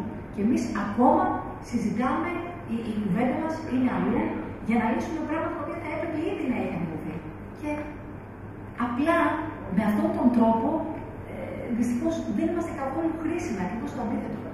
Ενώ το σύνολο του πολιτικού συστήματος. Άρα, εδώ πέρα, λοιπόν, συντρόφισε και σύντροφοι, πρέπει να δούμε, να δούμε, να μιλήσουμε με ειλικρίνεια, κάνοντας μια αποτίμηση του ποιες είναι οι πραγματικές παθογένειες, τα πραγματικά προβλήματα, όλα αυτά τα οποία μας κρατούν καθυλωμένους ως χώρα. Είπα πιο πριν για το νέο παραγωγικό μοντέλο που πρέπει επιτέλους να συζητήσουμε και να δούμε όχι απλά ω τσιτάτο ή ω ένα τίτλο, φίλες και φίλοι, αλλά να δούμε τελικά ποια ήταν τα λάθη, τι λάθη κάναμε και έχουμε κάνει πολλά και πώς μπορούμε να στηρίξουμε την παραγωγή μας και πάνω σε ποιους τομείς. Ναι, ο τουρισμός, παραδείγματος χάρη, είναι η μεγάλη καρδιά βιομηχανία της χώρας. Μπορούμε να βασιστούμε όμως μόνο σε αυτό; Ήρθε μια πανδημία και διέλυσε τα πάντα. Μπορεί να μην στεκόμαστε στα πόδια μας, μπορεί να μην είμαστε αυτάρκη. Συνεχίζει και πρέπει να υποστηριχθεί ακόμα περισσότερο ο παραγωγικός τομέας που είναι πρωτογενής τομέας, η αγροτιά μας. Και δυστυχώς δεν βλέπουμε να υπάρχουν συγκεκριμένες δράσεις γι' αυτό και δεν είναι απλά και μόνο η παραγωγή, το ξέρουμε όλοι. Ότι είναι η τυποποίηση, είναι η πιστοποίηση, είναι τόσα και τόσα που πρέπει να κάνουμε. Και όχι μόνο αυτό. Βέβαια, ο Ελγάτο, πώς ακριβώς, γιατί μονίμως, ξέρεις, πρέπει να χρειάζεται εξυγχρονισμό, μονίμως δημιουργούνται καινούργιες καταστάσεις, στι οποίες έχουμε την κλιματική κρίση, την κλιματική αλλαγή, στις οποίες πρέπει να ανταποκριθεί ο Ελγά, ο είναι, απευθύνεται σε μια άλλη εποχή. Στο παρελθόν, δεν έχουμε νέε προκλήσεις. Μίλησαμε για την κλιματική κρίση πιο πριν. Άρα, ποια είναι η απάντηση σε όλα αυτά; Οι έξυπνες τεχνολογίες, καινοτομία. Αυτό δεν πρέπει να είναι κάτι ακόμα το οποίο είναι πολύ σημαντικό και πρέπει να παντρευτεί και με τον πρωτογενή τομέα και με όλα τα άλλα. Η Ελλάδα πραγματικά μπορεί να είναι πρωτοπόρος. Και σε αυτό έχουμε απίστευτο ανθρώπινο δυναμικό νέων ανθρώπων που στις τεχνολογίες και σε όλα αυτά έχουν φύγει και βρίσκεται στο εξωτερικό. Βλέπουμε άλλες χώρες να έχουν πάρει απόφαση να αλλάξουν το παραγωγικό τους μοντέλο, την Ιρλανδία, τη Φιλανδία, να επενδύσουν στην παιδεία τους και να έχουν αλλάξει τα πάντα και να βασίζονται στα πόδια τους. Αυτό δεν είναι κάτι που επιτέλους πρέπει να δούμε από σοβαρά. Και μιλάω τώρα για την παιδεία, γιατί είναι ένας από τους πιο υπονομημένου τομείς. Επιτέλους. Θα πρέπει δηλαδή ως πότε θα ανεχόμαστε να αλλάζει το σύστημα το εκπαιδευτικό, όχι απλά από κυβέρνηση σε κυβέρνηση, αλλά ανάμεσα του μέσα στην ίδια την κυβέρνηση, ανάμεσα σε υπουργό και υπουργό. Και πότε επιτέλους θα μπορέσουμε να βρούμε συνενέσεις πάνω τουλάχιστον σε τρία-τέσσερα τόσο βασικά ζητήματα. Κάποια στιγμή πρέπει να βγούμε και από όλη αυτή την τοξικότητα μιας στήρας, αν θέλεις, αντιπαράθεση και μόνο για να αποκομίζουμε μικροκομματικά ωφέλη. Και να μην μιλούμε για τις πραγματικές τομές και αλλαγέ, οι οποίες πρέπει να γίνουν με πρώτη στο στόχο, και αυτό είναι αυτό που μας διακρίνει εμάς ως σοσιαλδημοκράτες, την μείωση των ανισοτήτων. Την μείωση των κοινωνικών ανισοτήτων ανάμεσα στο κέντρο και την περιφέρεια. Ανάμεσα στη νέα γενιά και τους παλιότερους. Γιατί έχουμε μια νέα γενιά η οποία δουλεύει για 6 και 7 εκατοστάρια αυτή τη στιγμή για να πληρώνει καλώ και κακώ συντάξεις οι οποίες έχουν και αυτές περικοπή, αλλά έτσι όπως είναι το πράγμα, με ένα δημογραφικό το οποίο συρρυκνώνεται διαρκώς, άρα ποια είναι η λύση; Γι' αυτό λέω ότι πρέπει επιτέλους να δώσουμε σοβαρές απαντήσεις και λύσεις βλέποντας την κατάσταση κατάματα. Αυτό ήθελα να κάνω μια ερώτηση στο δημογραφικό και θα το συνδέσω κάπως διαφορετικά. Σε μια νυχτιά συνάντηση. Σύντροφε, συγγνώμη, επειδή περιμένουν και άλλοι να μιλήσουν. Μόνο, μόνο, ερώτηση, μόνο ερώτηση για το δημογραφικό, γιατί αναφέρθηκες αρκετές φορές. Η Αθήνα μέχρι τώρα, η Ελλάδα μάλλον καλύτερα μέχρι τώρα, είχε γίνει πάρκο μεταναστών. Όσοι ερχόντουσαν, παρκάραν πάνω στην Αθήνα, με κάποια χρήματα που παίρνουν από την Ευρωπαϊκή Ένωση και ούτω καθεξής, τους διατηρούσαν εκεί. Επειδή πλέον το κέντρο της Αθήνας αγοράστηκε ολόκληρο, γίνονται Airbnb, γίνονται πολυκατοικίες και ούτω καθεξής, αυτούς κοιτάνε να τους ξεπαρκάρουν σε εισαγωγικά από την Αθήνα και να τους μοιράσουν στην Ήπεθρο. Πού στην Ήπεθρο; Σε χωριά μακρινά, τα οποία δεν έχουν κάποια, έτσι, δεν έχουν πολλούς κατοίκους, να πάρουν κλήρους οι οποίοι έχουν παραμείνει ακαλλιέργητοι, δεν έχουν δοθεί από διαθήκες και ούτω καθεξής, και να πάνε για εκεί. Και τι έχουμε να πούμε.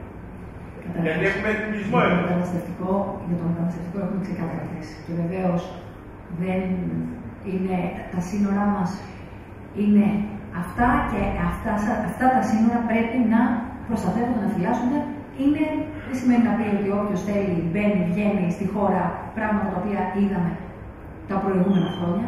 Από την άλλη, υπάρχουν όμως διεθνείς συνθήκες και υποχρεώσεις της χώρας απέναντι στους ανθρώπους οι οποίοι έχουν, είναι πρόσφυγες και οι οποίοι, στους οποίους αναγνωρίζεται το, τέλος πάντων, το, το καθεστώς πρόσφυγα. Και αυτούς τους ανθρώπους, αυτούς οι οποίοι έχουν και αυτό το καθεστώς, ή τους μετανάστες, τους νόμιμους, αυτοί οι οποίοι έχουν, και ξέρετε βέβαια και στην Υπέδρο, τώρα με το τι πρόβλημα υπάρχει με τους εργάτες γης, είναι και αυτό μια άλλη βέβαια, πορεμένη ιστορία. Αυτούς λοιπόν τους ανθρώπους, ο μόνος τρόπος οι οποίοι βρίσκονται πλέον στην χώρα μας, οι οποίοι βρίσκονται με νόμιμο τρόπος στη χώρα μας, οι οποίοι έχουν το καθεστώ του πρόσφυγα, η μόνη λύση, κυρίες και φίλοι, είναι η πραγματική ενσωμάτωσή τους στην ελληνική κοινωνία. Η πραγματικότατη ενσωμάτωσής τους στην ελληνική κοινωνία, με τα παιδιά του στα σχολεία, με αυτούς να δουλεύουν, και αυτό το λέω ξεκάθαρα και νομίζω ότι έκανα απολύτως σαφή τον τρόπο γιατί αυτός είναι ο τρόπος με τον οποίο και εμείς οι σοσιαλιστές, οι σοσιαλδημοκράτες απευθυνόμαστε. Δεν είμαστε ξέχαρο αμπέλι, αλλά οι άνθρωποι οι οποίοι με βάση τις διεθνείς συνθήκες του δικαιούνται και τους απονέμεται το καθεστώς είτε του πρόσφυγα είτε έρχονται νόμιμα στη χώρα μας, αυτοί βεβαίως πρέπει και να ενσωματώνονται στην ελληνική κοινωνία και είναι πλούτος για την ελληνική κοινωνία. Όπως και οι Έλληνες μετανάστε αντιστοίχως με τον αντίστοιχο τρόπο Θα υπήρχαν. μιλήσουμε λίγο για, το, για τον οίκο μας, κατά το οίκο. Όλα Αλλά θέλετε. αυτά είναι πρακτικά τα προβλήματα και για το εσύ βεβαίως και θα τα αναδείξουμε όλα. Θέλουν όλα αυτά δουλειά όπως ξέρετε. Ε, και επικοινωνία στην κοινωνία. Αλλά θα μιλήσουμε για τον οίκο. Για τον οίκο μα οφείλουμε να μιλήσουμε. Εδώ, Και- ας πούμε, στην Κορυφή, ακόμα έχουμε τους γραμματές. Εδώ στην Κορυφή έχουμε 17 υποψηφιότητες για υποψηφίους βουλευτές. Και έχουμε 17 υποψηφιότητες για υποψηφίους βουλευτές. Όλοι ξέρουμε ότι αυτή θα είναι 6. Αντώνη, δεν είναι το θέμα μας. Είναι και αυτό. Όχι, συγγνώμη, είναι οι πολιτικές εξελίξεις. Ναι, είναι και, και αυτό αφορά τις πολιτικές εξελίξεις, Θάνο. Διότι, διότι πρέπει οι, οι έξι τέλος πάντων που τα επιλεγούν, είμαστε καταρχήν διανύουμε προεκλογική περίοδος. Καταρχήν διανύουμε προεκλογική επίσημη προεκλογική περίοδο. Έτσι. Όποιος δεν το πιστεύει αυτό, είναι βαθιά νυχτωμένο. Θα πρέπει λοιπόν λόγω της παρουσίας σας εδώ, να μεταφέρετε το θέμα στα αρμόδια όργανα, ώστε να επισπευτούν οι διαδικασίες ανάδειξης. Τι θα είναι υποψήφιση η κορυφή, τι έξι θα είναι; Αυτή τη στιγμή είναι 17. 17 άνθρωποι δηλώνουν υποψήφιοι για υποψήφιοι. Έτσι, Αυτό δεν είναι και σωστό. Γιατί δεν μπορούν να βγουν εκεί έξω να επικοινωνήσουν με τον κόσμο. Πώς θα φέρουμε το αποτέλεσμα που θέλουν οι εκλογές. Λοιπόν, αυτό θα πρέπει, θα πρέπει να γίνει άμεσα όποιοι επιλεγούν να, να επιλεγούν, να ονοματιστούν, να ξέρουμε όλοι μας, να ξέρουν οι ίδιοι. Τώρα βγαίνει ο άλλος και λέει θα είμαι, έχω, έχω καταθέσει υποψηφιότητα. Θα είσαι, του λέει ο άλλος. Ξέρω, δηλαδή αυτά δεν είναι σοβαρά. Καταρχάς, δύο έχουμε και να το κλείσω. Δεν θα αποφύγω να απαντήσω. Δεν θα αποφύγω Και να απαντήσω. αυτό δεν συμβαίνει στην κορυφή, συμβαίνει σε όλα. Και πρέπει να πάρουμε μπροστά. Ευχαριστώ. Απλά να κάνω ένα σχόλιο. Ένα σχόλιο. Παιδιά, καταρχάς, νομίζω όλοι μας είχαμε ζήσει και το 2015 και το 2012. Και θυμόμαστε τότε πώς δεν βρίσκαμε κόσμο για να, για να κάνουμε τα ξενοδοχεία. Αλλά τα καταφέραμε και βρήκαμε και βάλαμε το σύνταγμα μας μπροστά. Άρα, σίγουρα είναι πολύ καλύτερο και αυτό δείχνει κάτι για τη δυναμική του κόμματος. Το να έχουμε υπερπληθώρα υποψηφίων και υγιέ είναι. Είναι πολύ υγιές και πολύ θεμητό και εμένα με γεμίζει χαρά. Το να ακούω ότι υπάρχουν 17 άνθρωποι στην κορυφαία που βλέποντας και τη δυναμική του κόμματος σου λένε παιδιά, ενδιαφέρον να κατέβω. Δυναμισμό δίνει αυτό. Και αυτό δείχνει ότι θα πάμε και πάρα πολύ καλά. Τώρα, από εκεί και πέρα, σίγουρα. Από εκεί και πέρα. Ε, και όργανα υπάρχουν και τα οποία θα κάνουν την επιλογή και τα οποία πιστεύω, πιστεύω απόλυτα ότι θα κάνουν μία επιλογή και με βάση την αξία, αυτό είναι το πρώτο. Να μην θυμηθούμε πράγματα που συνέβαιναν παλιά, επί κρατεούς Πασόκ, μόνο οι κολλητοί, οι γνωστοί να στείλουν ψηφοδέλτια κτλ. Να είναι λοιπόν να γίνει ένα ψηφοδέλτιο με τους καλύτερους, καλύτερους, τέλος πάντων με πολυσυλλεκτικό, ένα το οποίο θα εκφράζει την κορινθιακή κοινωνία και την τοπική κοινωνία με τον καλύτερο δυνατό τρόπο, με συμμετοχή, αν θέλεις, και γυναικών που είναι πολύ σημαντικό και ταυτοτικό ζήτημα αυτό. Αν με επιτρέψετε να σας το πω, γιατί για τα γυναικεία ζητήματα έχω μια πάρα πολύ μεγάλη ευαισθησία.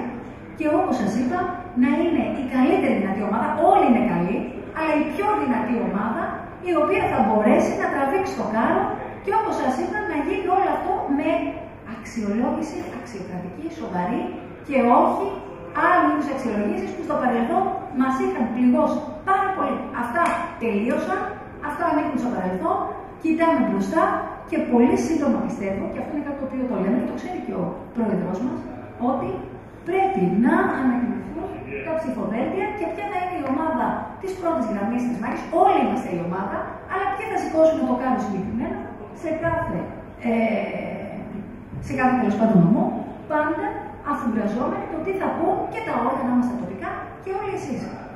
Αυτό είναι το πιο βασικό. Και αυτό το οποίο πρέπει να σας πω είναι για εμένα είναι πάρα πολύ σημαντικό αυτό να γίνει με αξιοκρατία και να μην νιώσει κανείς ότι αδικείται σε αυτή την κατεύθυνση. Είναι πάρα πολύ σημαντικό, ταυτοτικό και αξιακό θέμα στο νέο μας ξεκίνημα. Αυτό. Οι αγαπητοί ομιλητές, όσο μπορούν να παραμείνουν, παραμένουν. Τώρα θα περάσουμε στους υπόλοιπους. Έτσι είναι η Καταρίνα. Θα με συγχωρήσετε να ακούσω και σαν Καταρίνα.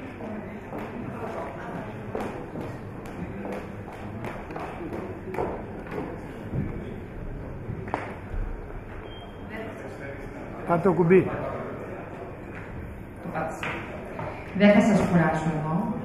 Καταρχήν θέλω να εκμεταλλευτώ την παρουσία και της Νάντιας και του Μιχάλη για να μάθω δύο πράγματα, πολύ σύντομα όμως. Ε, εγώ θα πω ότι άκουσα προσεκτικά τους πάντες. Βεβαίως είμαι η Κατερίνα Ιταγαρά, επειδή άκουσα το τέλειο επώνυμο. Είμαι δικηγόρος, 25 χρόνια ζω στην Κόρινθο, δραστηριοποιούμε πάρα πολύ δυναμικά εδώ. Γνωρίζω, είμαι από την κοινωνία, γνωρίζω και πασό βεβαίως. Γνωρίζω τα προβλήματα του τόπου όλη τη Κορινθίας, γιατί έχω δικηγορικό δίκτυο παντού και η φτώχεια, να συνηγορήσω και εγώ, είναι μεγάλη. Ιδίως ο τόπος μας έχει τεράστιο πρόβλημα παρά την εγκύτητά του με, το, με την Αττική, με την Αθήνα. Ε, είναι στατιστικά, ο νόμος Κατσέλη εδώ έχει τις περισσότερες αιτήσεις από τις περισσότερες πανελλαδικά ε, και θα πω ότι και ο νόμος Κατσέλη το 2010, δηλαδή είναι ένας νόμος σοσιαλδημοκρατικός ε, του ΠΑΣΟΚ, ε, και θα πω επίσης ότι κάνει πολύ σπουδαίο έργο η Εκκλησία. Ε, θεωρώ ότι το ΠΑΣΟΚ ε, έχει τη δυνατότητα να συνδράμει στο θέμα αυτό της, ε, της σύντησης, στο θέμα της φτώχειας και στο θέμα της βοήθειας στους ανθρώπους. Μιλάω εντελώς αυτή τη στιγμή ανθρωπιστικά, διότι έχουμε πάει πάρα πολύ πίσω. Δηλαδή, η ορεινή Κορινθία, στην ορεινή Κορινθία οι άνθρωποι ζουν σε, σε καθεστώς φτώχειας, ε, έχουν πάρα πολλά προβλήματα, δεν τους ακούει κανένας, αλλά και σε πολλές απομακρυσμένες περιοχές, όπως στα χωριά του Δερβενίου, ε, ορεινή, ε, ορεινό ξυλόπαστρο, ε, ε, είναι, είναι φοβερά τα προβλήματα αγροτών, κτηνοτρόφων, εμπόρων και σου λένε «Α, εσείς καλά στην Κόρινθο». Και στην Κόρινθο, να πω και το άλλο, ότι η, η Εκκλησία κάθε μέρα μοιράζει συσίτια άπειρα για να ζήσει ο κόσμος παρά τα πολλά επιδόματα. Αυτό βεβαίως είναι το κύριο θέμα. Από εκεί και πέρα όλα είναι πολύ πολύ πολύ σοβαρά Ε, Βεβαίως, εμένα με ανησυχεί η Τουρκία να μιλήσω ε, ελάχιστα, αν μου επιτρέπετε, μόνο και μόνο στο βαθμό που έχει προσχωρήσει στο σύμφωνο της Αγκάης. Είχα ένα άρθρο στο The College, προάλλε του Παπαντρετεφίλη του Γιώργο. Ε, ε, εγώ ανησυχώ και εγώ ως διεθνολόγος γι' αυτό, μόνο και μόνο διότι αν αποχωρήσει από το ΝΑΤΟ οι ισορροπίες θα ε, κλείψουν και θα υπάρξει πρόβλημα. Αυτό δεν πρέπει σε καμία περίπτωση να λάβει χώρα. Ε, και το τελευταίο που θα ήθελα και να ρωτήσω το φίλο μου του Μιχάλη είναι τι προτίθεται να κάνει ο Πρόεδρος όσον αφορά το, το θέμα ε, της, ε, των υποκλοπών. Και να μιλήσω συγκεκριμένα, ε, υπάρχει το δικαστήριο της ΕΣΔΑ, της Ευρωπαϊκής Σύμβασης των Δικαιωμάτων των Ανθρώπων, των ανθρώπων. Εάν προτίθεται να εξαντλήσει τα 11 μέσα και βοηθήματα στην Ελλάδα και να προσφύγει υπερεθνικά και αν ναι, με ποιο υλικό από τη στιγμή που αυτό έχει καταστραφεί, το οποίο για μας τους νομικούς αλλά και για τη δημοκρατία είναι τραγικό, ε, και αν αυτό μπορεί να ανασυρθεί, εσύ Μιχάλη το ξέρεις καλύτερα από όλους μας και θέλω να σε εκμεταλλευτώ εδώ που είσαι, ε, και βεβαίως, εάν έχει απασχολήσει ε, πιο πολύ αυτό που είπες, το οποίο το γνωρίζω και εγώ ε, σε έναν βαθμό, δηλαδή ότι σήμερα, μάλλον το 2021, οι επισυνδέσεις ή μάλλον οι εισαγγελικές διατάξεις για τις επισυνδέσεις έφτασαν στον τραγικό αριθμό των 15.475, ενώ το 2005 ήταν στις 406. Ευχαριστώ πάρα πολύ για τον χρόνο σας.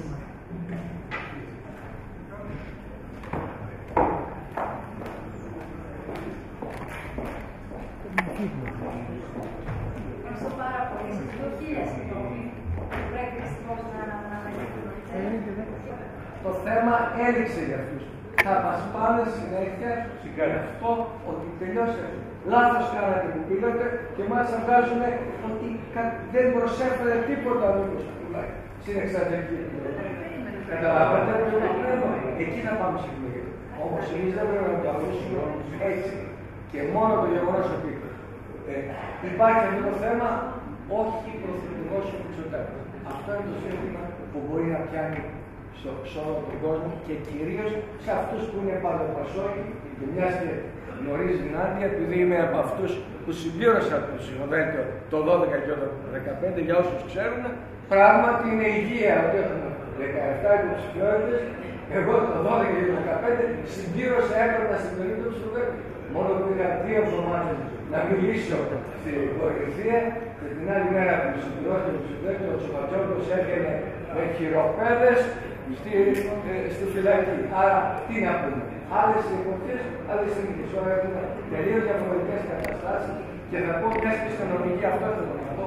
Επιτέλους, θα πρέπει να δούμε ότι η Ελλάδα πάει μπροστά και εξελίσσεται και ίσως δεν το πιάνουμε, οι εξαγωγές ανεβαίνουν, οι καινοτόμες επιχειρήσεις ευημερούν λόγω των νέων ανθρώπων.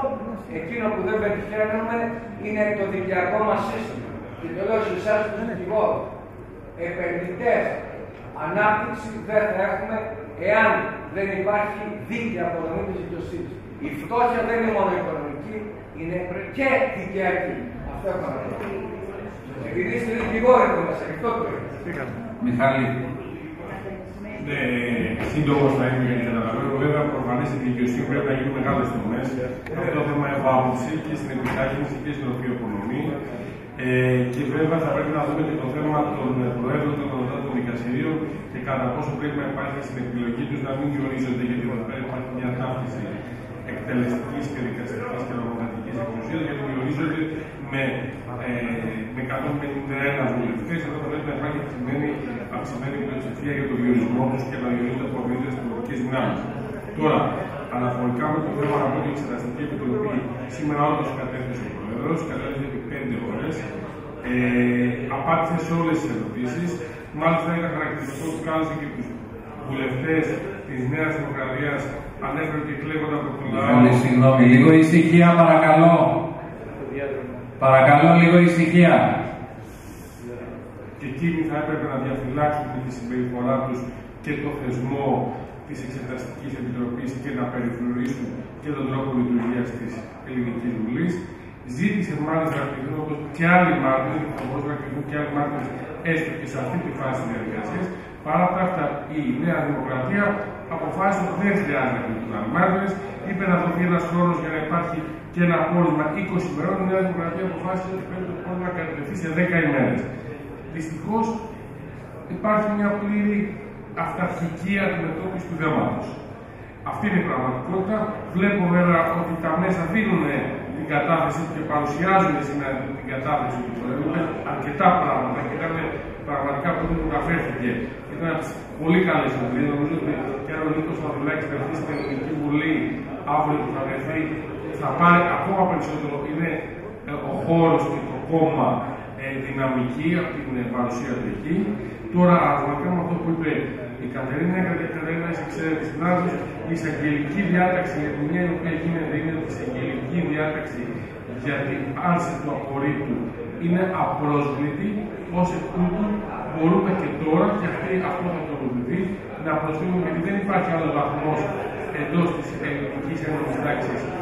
Οπότε μπορούμε να φύγουμε κατευθείαν στα ευρωπαϊκά δικαστήρια και θα το κάνουμε άμεσα γιατί παράλληλα με την μηνυτήρια αναφορά που έχει υποβληθεί στον Άγιο Πάο και τη συμπληρωματική που υποβλήθηκε τώρα το Σεπτέμβριο μετά ε, το πρώτο δεκαήμερο του Σεπτέμβριου για το θέμα των παράνομων παρακολουθήσεων από την ΕΕ, θα προηγηθεί και στα ευρωπαϊκά δικαστήρια διαστημόνω μέχρι το τέλος του χρόνου. Και εκεί πέρα πλέον θα κληθεί να, και να δούμε και τι θα πει η ελληνική κυβέρνηση, θα κληθεί να διαβιβαστούν το σύνολο των στοιχείων που υπάρχουν, γιατί εγώ δεν ξέρω αν έχει καταστροφεί ή όχι το αρχείο, θα κληθεί όμως να τοποθετηθεί επίσημα πάνω σε αυτό το θέμα. Είναι στα σχέδια και δεν υπάρχει λύση όσο η διάταξη η οποία το εισαγγελέα η οποία έχει εκδοθεί κατά, κατά ερμηνεία είναι απρόβλεπτη στην ελληνικά δικαστήρια. Ευχαριστούμε, Μιχάλη, για το δυσκότατο. Ο επόμενο είναι ο Μίμης ο